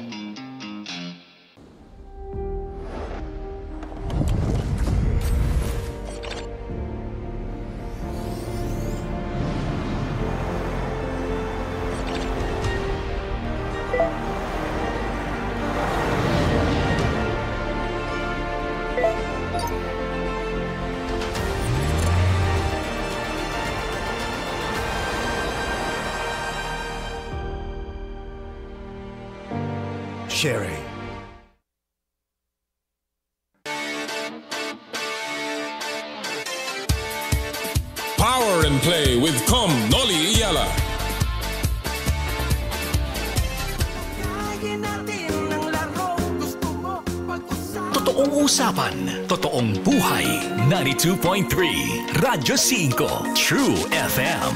Dito tayo sa totoo. Mukhang kailangan ko na naman palitan ng bubong ko, pare. Mag-iisang taong pa lang yan. May tulo na kagad. Ay, bossing! Baka naman kasi hindi matibay yung ginamit nyo. Dapat ang gamitin mo ay Cherry Loom, ang yerong aluminum. Basta yero, Cherry Loom. Tibay protektado sa pangmatagalang yero. Totoong abot na abot ang 92.3 True FM. Saan man may Pilipino, saan mang panig ng Pilipinas. Sundan ang at Radyo 5 True FM sa aming social media accounts at mag-subscribe sa YouTube, Facebook, TikTok, Instagram at sa X o Twitter. Radyo 5 True FM. Tunay na kapatid. Maaasahan on air at online. Dito tayo sa totoo. Sa totoo. Mukhang kailangan ko na naman palitan ng bubong ko, pare. Mag-iisang taong pa lang yan. May tulo na kagad. Ay, bossing! Baka naman kasi hindi matibay yung ginamit nyo. Dapat ang gamitin mo ay Cherry Loom, ang yerong aluminum. Basta yero, Cherry Loom. Tibay protektado sa pangmatagalang yero. Power and play with Com Noli Iyala. Natin ang laro. Gusto mo pag-usapan natin.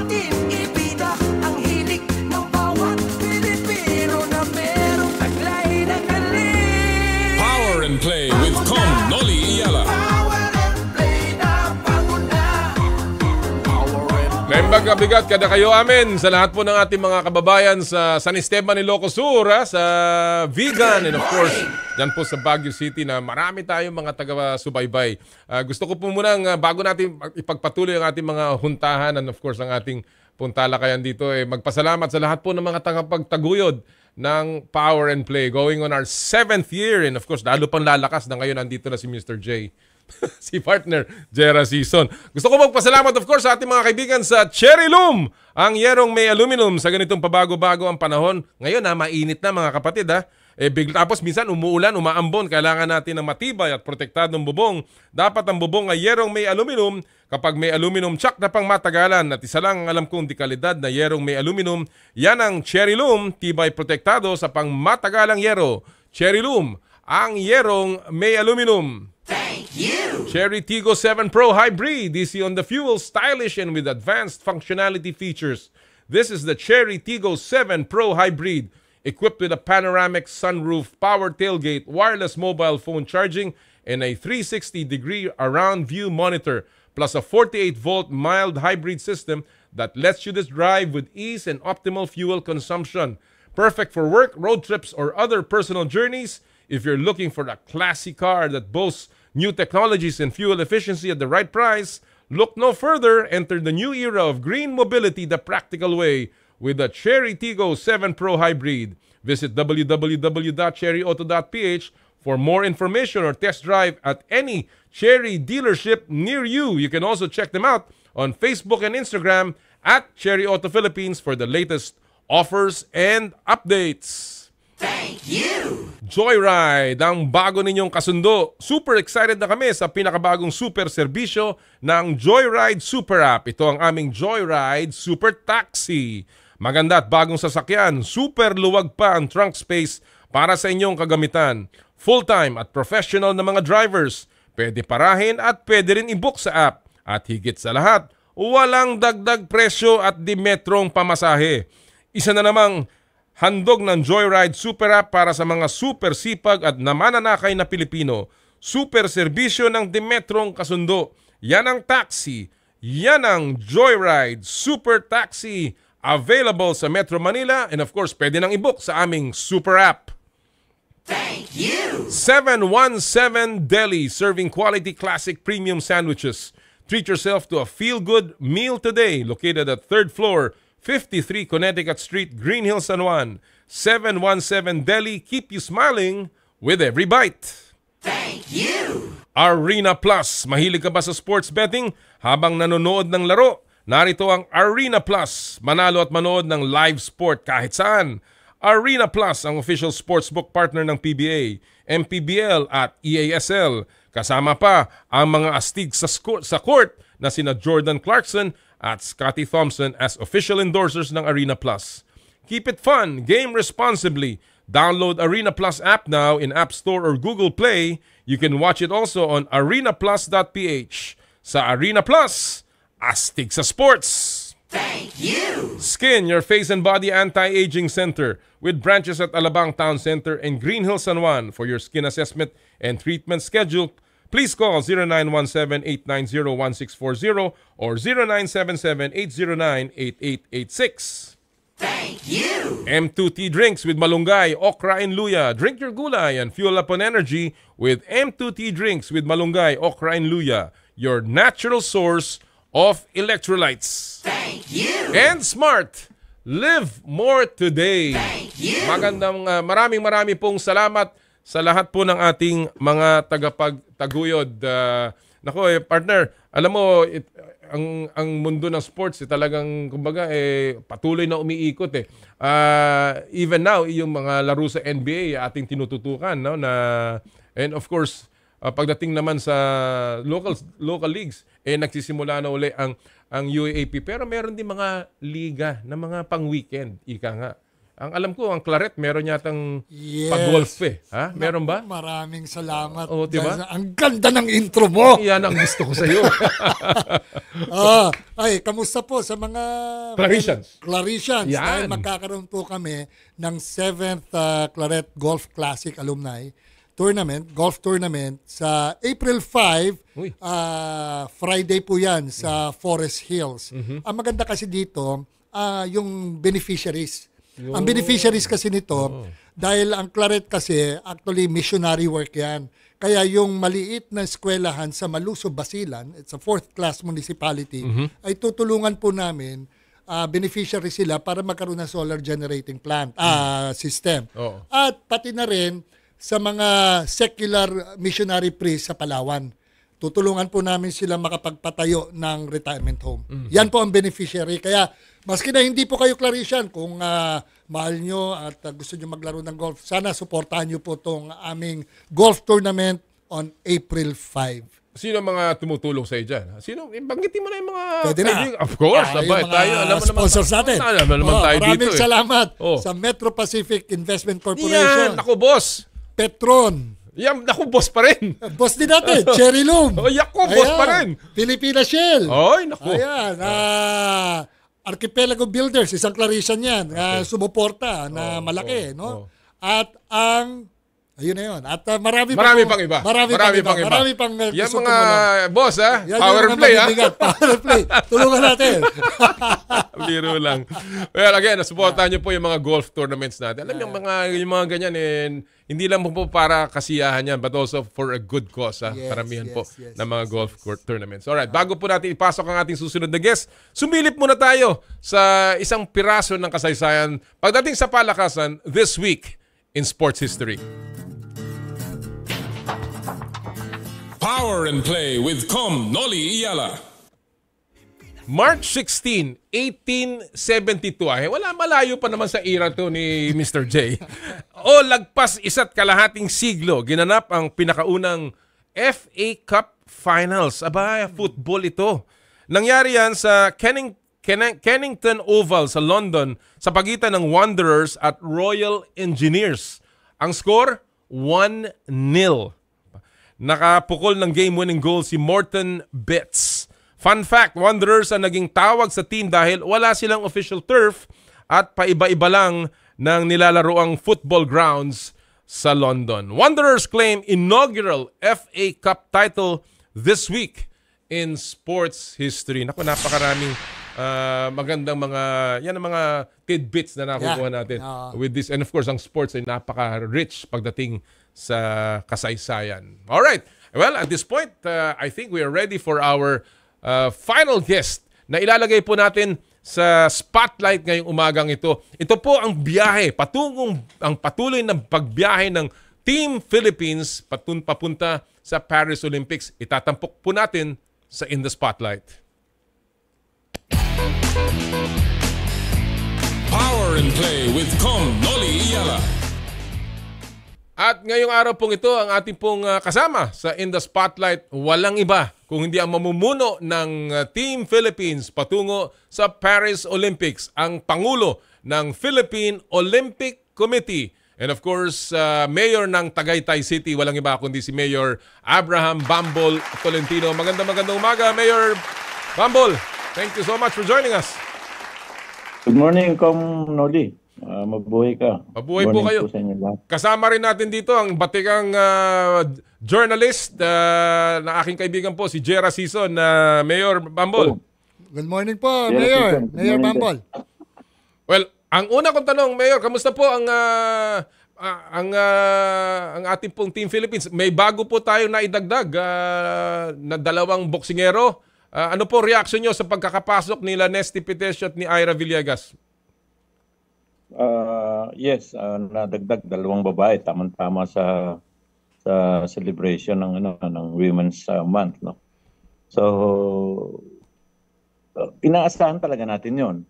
Ang hindi natin inaasahan yung yung si Carlo na na hindi niya nakuha pero meron pa namang malaking tsansa no meron pa tayong bangko ah, na last qualifying si si Fajardo for Fajardo uh, Carlo and Hergy and all other boxers no? So baka madagdagan pa ng dalawa yan. Mhm, mhm. minimum sa good news. boxing no? so si yung dalawa uh, si Ira at saka si Nesty so sila na yung nakadagdag. As of today meron na tayong nine. Seven sa qua- ano sa six sa qualifying regular. And meron tayong naka standby na three universality for s- aquatics and uh, athletics. Athletics. Aha. Pero ang, ang athletics baka hindi pumasok sa universality, baka mas makuha nila an- on a normal qualifying. Oo, oo. Ah, pa- s- meron na ba hong ah, pangalan sa aquatics na kukuha nung ah, universality slot natin? Well, wala pa no, mahirap ng pangunahan tong uh, NSA natin na sa aquatics no yung bago nating NSA pero for sure siguradong may isang lalaki at isang uh, babae. Isang babae. Pero uh, Mayor, more or less, ano bang estimate ninyo na ilan ang mafi-field natin na, dyan sa, na delegation natin sa Paris Olympics? More or less. Well, Pati sa well sports yung discipline po. sa Tokyo natin 19. Aha. No? Ah, yung na- yung 19 medyo ano yun eh ah, hindi naman maluwag no. Ah, pandemic yun eh. So maraming maraming pinasok na universality from Ah, continent, etc. So talaga naka 19 tayo no. Mhm. Hindi naman sinasabing maluwag pero ngayon sobrang sikip dahil galing pandemic. Mhm, So remember yung Asian Games nga ni ng weightlifting, yung North Koreans eh, ngayon lang lumabas so binuhat niya yung yung tumalo kay Heidelin nung binuhat niya nakatawa pa eh. So yung mga tipong gano'n na maraming maraming bansa na ngayon lang lumabas after pandemic. So sumikip ng konti ang ah, qualifying natin. So yung tanong niyo po ng mga ilan pa, hopefully we can surpass the the numbers in Tokyo Olympics, no? 19. Baka maka 20 tayo, 21, 20, hanggang 23, 25, gano'n. Oo. Ngayon, ngayong araw na to, ngayon po, ngayong may laban ng taekwondo sa China, no? Meron tayong dalawang ah, nakapila doon. Oo. Kasi may, natalo tayo kahapon ng isa. Na konting-konti lang, hindi pa napagbigyan. Konting-konti, one point lang siguro yung kahapon. Oo. So meron pang dalawang natitira ngayon. Oo. So aside from that, kung mabilis tayo magbilang, yung sinabi ko, 9. so today, 9. Golf, sigurado, meron yung isa. Ah, hindi pa lang ina-announce. Skateboarding, meron pang isa. That's Wow. 11. Oo. Ah, taekwondo, kung mag-conservative na lang tayo, isa. That's uh, 12. Ah, boxing, mag-conservative ulit, dalawa pa. So, 14. Ah, judo, conservative ulit, isa. 15. Ah, weightlifting, apat yung nakasalang. Top 10, top 10 ang kukunin. Ah, ah, unfortunately, Heidelin and Ando, parehas Pilipinas, maglalaban. Oo nga. eh. So lima yung nakasalang, so apat pa rin ang kukunin doon, no? Ang baka pumasok. So 90 na. O shooting, may continental may continental universality yan. Ah ah, 20. Alex Ayala baka pumasok. Um, malapit na dahil merong system na feeling where merong system na nag automatic yung Asian Games gold and silver Aha. but yung China ah, hindi siya sa automatic pumasok eh talaga nag-qualify siya sa ranking So baka umakyat yung ano, yung yung yung bronze, may Bronze. ruling na Oo, ganun. No? oo, okay. oo. So, Okay. 21 na. Oh, what else? Tuloy-tuloy ang bilang. Ha? Tuloy-tuloy ang bilang Na- natin dyan. Naputol, naputol yung bilang ko. So, lalampas yan. Pero, uh, Mayor, uh, when you, pag pinag-uusapan ito, of course, ang, ang mga batikan na mga atleta natin na nag-medal din sa Tokyo, ay of course, inaasahan pa rin natin. Realistically, Mayor, ano ang uh, nakikita mo dito? Al- Alam naman natin na sabi mo nga, mag, si Heidelin, ibang weight class yan. Uh, na, na- lalabanan sa weightlifting. And of course, ngayon, ang mga boxers natin, eh, medyo uh, one year, uh, few years removed from the Tokyo Olympics. Ano ang nakikita mong uh, best chance natin dito for a medal? Because galing tayo sa Tokyo na talaga namang para tayong uh, namiesta sa sa mga medalya. What is your realistic uh, ano dito uh, expectations uh, Mayor Bumble? May, i- ano ba, i-reveal ko na ba? Kaunahan ka nagtanong yan. Ah, bakit hindi? Marami na nagtanong, palagay lang, pero- fearless Kunti lang naman nakikinig sa atin, Mayor. marami, ka, marami na pala nagtanong pero hindi ko pa sinasagot. so, siguro naman masusurpas natin yung ano, yung uh, Wow. yung uh, Tokyo Hall natin. Mhm. Mhm.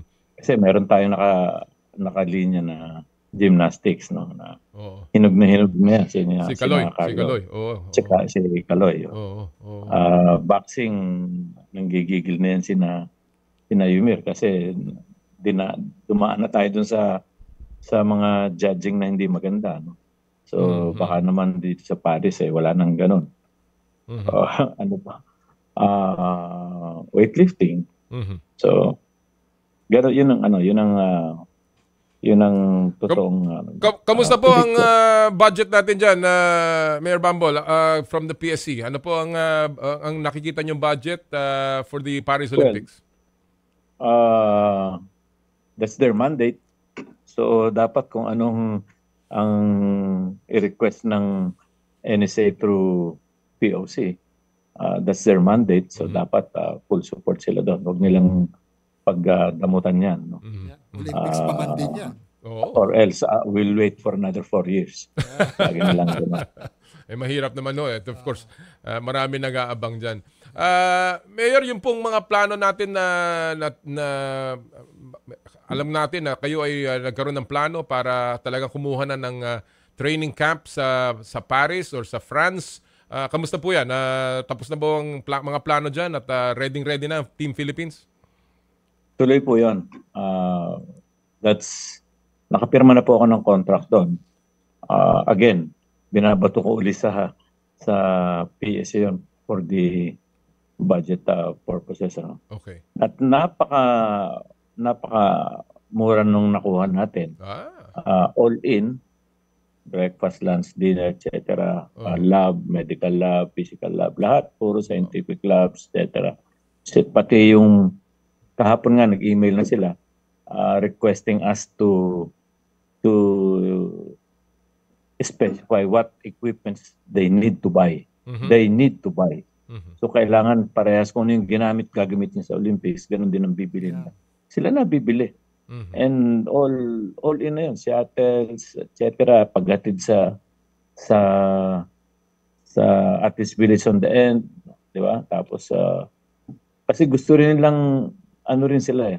ah, masaya rin sila na sila yung napili na doon nag-training no? kahit ah, hindi naman malayo. It's just a one hour away, one and a half hour away from uh, Paris Mhm. by uh, bullet train. Interesting. Maganda. So, pinapasa ko uli yan sa ano, sa funder natin. Pero Mayor, kung, kung, Kung nga malaman kung meron o wala para makahanap na ako ng sponsor. magkaalaman na. Para makahanap na ng ano Yes, katulong. so it's only 60 euro per head. Imagine that, all in. Oo. Uh, last year ko pa yun in-scout at saka pinirmahan yung contract. Kahit nasa likod namin noong pumunta kami doon, nasa likod na namin yung yung Brazil. Inaantay lang kaming tumanggi para sila naman ang papasok sa sa area na yon. Ang daming bansa nakapila. No? So napagbigyan tayo. Kasi Pero- ang request po natin kung sakaling kumuha sila ng ibang bansa doon sa training camp na yun, huwag naman yung pare-pares kaming nandun na boksingero, Mm, pare-pares mm. kaming ah, yung pares na sports na maglalaban. Pero Mayor, kung matuloy yung planong yan, ganong, how many months? Tuloy or- po yan. Hindi, how many months? 100% with or without funding.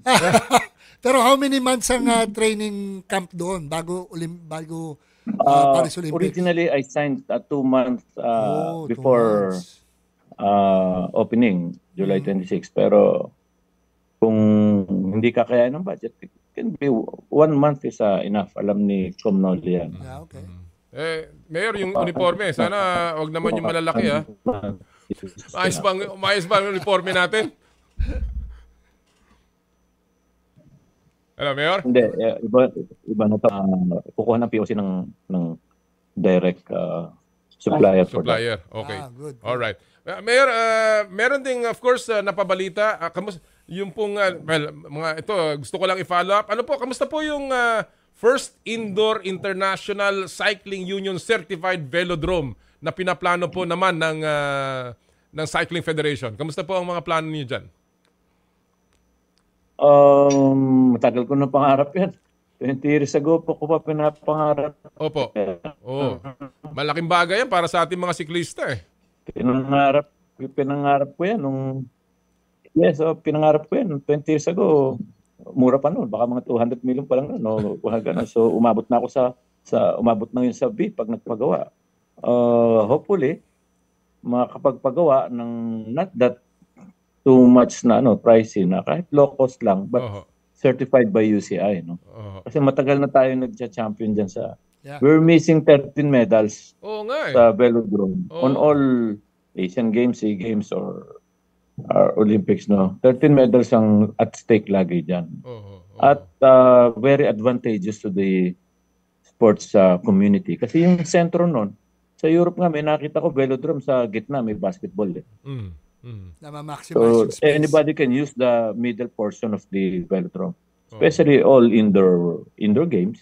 Magagamit nila yun. Mhm. Well, uh, uh, during my uh, brief time dyan sa PSC, alam natin na nagkaroon po ng offer uh, ang uh, lungsod ng Quezon uh, para po yung ating uh, Amoranto uh, Velodrome, yung stadium sa Amoranto Stadium ay mailipat. Uh, meron na ba hong naging uh, usapan dyan, uh, Mayor, uh, between the local Well- government at ang uh, Cycling Federation? Nag-uusap po kami ni ano ni ni Mayor Joy Belmonte. Aha. Ah, nag-uusap po kami dahil kailangan na po nila yung yung ah, Amoranto. So since ah, tayo po yung field cycling ang end user ng Amoranto Oho. na hindi naman pwede nang gamitin talaga. Outdated na. Mhm. So nag-uusap naman po kami na we're open on whatever ano ah, dynamics kung they will donate something for for the new velodrome or what. All right. Uh. Uh, kanina, Mayor, and before I let you go, ito, ito ano lang naman ho, ah, pinag-uusapan po namin, isa sa mga topic na pinag-uusapan namin sa show, eh yung, ang issue po ng game fixing pagdating sa palakasan. And uh, uh, again, we put it in context na ito po inimbestigahan ng, ng ah, Kongreso. Ah, ito po ay, ah, of course, ah, nagiging usapan, lalong-lalo na sa nangyari sa lar- larangan ng basketball, kung saan ah, napakarami ang nafa-flag and of course, napakarami ang ang uh, naiimbestigahan. Kayo po ay naging naging involved din sa basketball lalong-lalo na sa regional uh, uh, local government based basketball tournaments. Uh, Mayor, ano sa tingin niyo ho, uh, itong uh, issue ng game fixing, ano kaya ho ang long-term solution para dito po, Mayor? Well, of course, uh, ang una natin yung para sa akin, ano, well, sa POC naman ang side is that's amateur, no? Ah, malabo yun. So, doon sa professional, sa et cetera, no? Uh, ang issue dyan, yung character muna, yung attitude ng mga management. no? Tama. So, uh, kung walang walang ganun na you know, kung walang kung matino lahat, so so walang ganun ano, wag walang papasok sa sa sa ganung system, no. So hindi naman pwedeng pairali ng power, etc. or what money.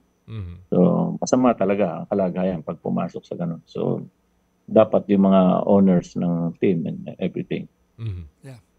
Eh, tinitingnan nila na walang wag papasok. Yun, yun ang pinakauna. Ah. Kung hindi naman pumasok yung mga opisyal, ay bakit magkakaganon? Oo. Di kick out lahat ng mga Matatakot din yung mga players. Oo. Yes, yes, of course. All right.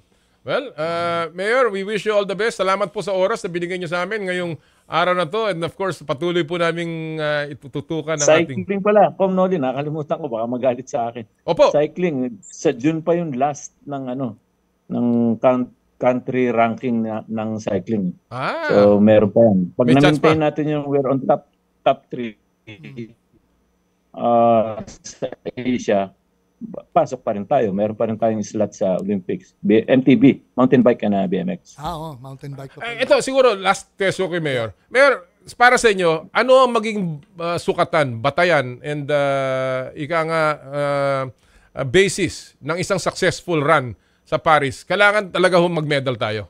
Hindi ho, kahit nag-break tayo ng mga record, hindi yan sapat. Sa tingin nyo, we really need to have a medal in the Paris, Paris Olympics. Yes, yes. Uh, of course, saka maraming madagdagan yung yung uh, mag-qualify and mag-podium, no? Uh, mag-medal. Uh, baka makalimutan ng mga kababayan natin, we're celebrating 100 years Ooh. of uh, participation sa Olympics. Nagsimula po pong sumali ang Philippines 1924. So, Malaking ang bagay. ganda, very time. yeah, but very milestone, timely. milestone yan. 100 years. Hindi naman natin kayang 100 ang ang makapasok. Kung pumasok ang basketball tsaka football, baka umabot yung mga team team events. No? Oo. Uh, one, may, may pahabol dito, uh, Mayor, yung, yung tungkol dun sa WADA, sa WADA suspension, yung suspension natin ng, ng bandila natin dahil dun sa issue sa WADA. Ano po ang latest doon, na Mayor Bumble? That's a PSC side. Uh, Ah, okay. uh, that's PSC side na, you know, hindi kami sinasama sa loop, pero hopefully, ayaw naman natin lahat na mangyari yun ha. Magpa, magkukumpit tayo na wala tayong para tayong Russia na buti yung Russia nga nakipaggera pa tayo naman din pa hindi nakipaggera. Now we're not we cannot use a Philippine flag and uh, pati pag may naka-medal, naka-gold, hindi tatas ang ang bandera. Hindi sasabihin na uh, uh, winner by goal for uh, Com Noli Ayala. Wala nang ban- pambansang awit. So hopefully Bakit naman? matapos matapos yan. Mahaba naman yung yung time eh. So parang nak- malapit na makomply. Talagang complied na halos ng ng uh, PSC. Okay. So That's good. that's a big lesson for us sa kanila. No? Oho. Huwag nang umabot sa ganun uli. Oo nga. Well, eh, talaga hong ah, malaking lak- aral yan. Sana nga eh, tayo, kahit pa paano marinig natin ang ating pambansang awit sa sa Paris. Mayor, maraming salamat sa oras mo. Maraming salamat, araw. Mayor. Salamat po. Mabuhay Salamat po kayo. Jen. Salamat po. Mabuhay. Noli, mabuhay po kayo. Mabuhay po kayo. Mga kaibigan, ng, uh, of course, ang Pangulo po ng Philippine Olympic Committee, walang iba kundi si Mayor uh, Bumble Tolentino ng uh, Tagaytay City. Yeah. Uh, partner, nakikita mo naman talagang uh, puspusan ang paghahanda ng ating mga sports officials. Uh, and of course, ang ating mga nakakara- ha? parang nakakaramdam ako ng konting gasgasan doon. Ah. Yun nga eh. Al- al- alam mo, hindi, hindi naman, alam naman natin, puro gentleman yan. ha? Yes, Si yes, Mayor yes, Bumble, si uh, PSC Chairman uh, Dicky Bachman. Ah, Ito ha, ako, nung kami po ni Mayor Bumble ang uh, nag-uusap dyan, eh talagang very close ang coordination namin. And uh, sana nga ay patuloy na maging malapit ang ang pag uh, pagsasamahan ng mga top officials ng sports sapagkat at the end of the day hindi naman sila ang nakasala, nakataya Para sa dito. bayan eh. O para sa bayan. At saka sa atleta. Sa atleta. Kawawa ang mga mga atleta. Partner, before uh, before tayo magtapos, uh, we have a few minutes dito. Uh, you know, you had a uh, masaya ako at um, napakagandang talakayan natin ha dito sa una pong uh, pagtatanghal namin nakasama natin si si Jera. Anything special na, na, na you, you wanna take away at gusto mong imansahe sa ating mga mga nanonood ngayon? Actually, ah, yung ano, na isa lang sa gusto kong ah, mabanggit na sa lahat Puntuhin, na- kumbaga. Ah, sa lahat ng mga na-discuss natin itong ah, ah, itong episode na to, itong programang to, ay ah, talagang natutuon tayo sa boxing eh. Oo. Dahil ah, katulad nga ng pinag-uusapan natin kapag naglalaro tayo ng golf, 'di ba? Eh parang wala na tayong mga champion sa boxing. Sa boxing. Parang ah, na gone are the days na talagang ah, mga Pilipino excited pagka meron tayong ah, champion sa boxing. Ngayon, ito po yung window na nakikita natin. Si Yumir Marshall. Nalalaban sa susunod na linggo at kailangan eh silver medalist at ah, kadalasan eh, marami mga kampyonatong boksingero na dating Olympic medalist. Mhm. Katulad nila Muhammad Ali, nila George Foreman, di ba? Ngayon, malaki ang pag-asa na legitimate na magkakaroon ulit tayo ng isang world champion. Bagamat at 28 years old, no, mahaba pa ang laban, kailangan umabot siya sa rankings, pero nandoon yung talento ng tao, ng boksingero ni Yumir. Eh sana naman eh, ah, suportahan natin all-out support ah, para maramdaman niya na ang buong sambayanan ay nasa likod niya. Tulad ng pagsusuporta natin sa mga previous champions natin sa boxing. Lalo-lalo na si Manny Pacquiao. Kung talaga Lalo na si sinuportahan Manny natin nung panahon na Oo, yun. yeah. Oh, well, ma- maganda pong take yan mula kay uh, Mr. J. Eh, ako naman ho, mga kapatid, ah, ah, magandang napag-usapan dito, of course, yung game fixing. Gusto ko puntuin yung sinabi ni Mayor Bumble about, sabi niya, eh, ang mahalaga dito ay yung mga nag sumasali sa mga liga, yung mga team owner, yung mga opisyal. Kasi sabi nga nila, pag nagsimula sa taas, eh sinusundan lamang ng baba. Eh, medyo meron ng pahiwatig yan. Alam niyo po ang ah, issue ng game fixing sa palakasan, eh mahirap solusyonan dahil ma- wala nagsusumbong, mahirap i-pinpoint kung sino talaga ang involved and of course mahirap hulihin. Pero again, it begins with the integrity po ng mga nagpapatakbo ng liga, ang mga na- namumuno at may- nagmay-ari ng mga kuponan dahil sa, sa sila po ang magiging ehemplo at magiging batayan ng paglalaro ng sarili nilang kuponan. Kung gusto nyong manalo, may paraan. Kung gusto nyo pong matalo, madaling magpatalo. Kaya sana ay matutoy tayo at magkaroon nga ng solusyon dyan po sa problema ng game fixing. Partner? Partner, bago Yes. tayo magtapos. Go ahead. Gusto ko lang bumati at mag, mag, mag-anunsyo sa isang kaibigan natin at ah, matalik na kaibigan natin Aha. na fellow golfer. Oo. Kanina po ay naka-hole in one si Alex Santos. Aba! Oo. Naku po. Oo, hole in one. Congratulations. Congratulations. ah, Alex Santos. Alex Santos. Ba, Oo. mahirap yan, Alex. Mahirap yan. Idol. Oo. Congratulations. Mahirap Oh, yan. And, and ah, bumabati rin po ako sa aking kaibigan at ah, partner sa negosyo, si Mr. Popoy Sabala. Yes, sir. Yan. At Kamusta, saka Poy? kay Larry Lumba na nanonood lahat sila ng programa natin. Maraming salamat. Oo. Magandang umaga sa inyo lahat. And of course, uh, again, partner Alex, idol, congratulations sa iyong hole-in-one. Paano, paano naman kami ni Jera? And of course, bago tayo magtapos, gusto namin pong i-announce lahat ng mga nanalo sa ating uh, Joyride Top Up promo. Ngayong araw pong ito, si Eileen Picardal, Shanelyn Zamora, Judith Buenaventura, Lawrence Quirino at si Dennis Ramos Jr. Lahat po kayo mananalo ng 1,000 pesos e-wallet credits. At yun naman nanalo sa ating uh, Joyride Top Up promo, or rather yung ating pong limited edition Aqua Flask.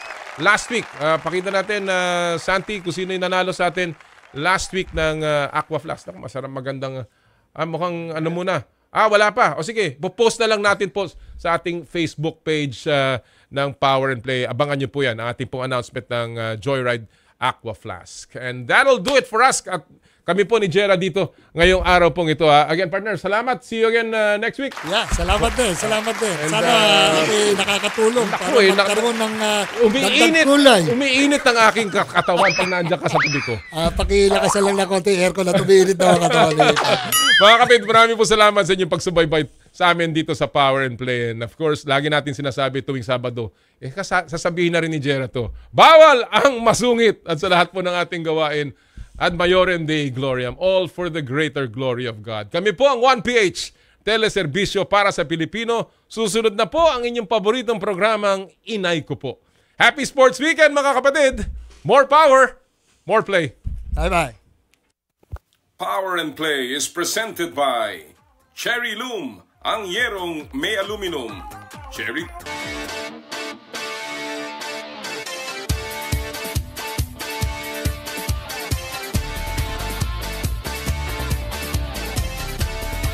Sa kapwa ko Pilipino. Ipagmalaki ang galing na meron tayo. Ilantad ang likas nating talento. At magdala ng saya sa mundo. Sa harap ng pagsubok ay di susuko. Para sa pangarap tayo'y porsigido Magpakitang gilas na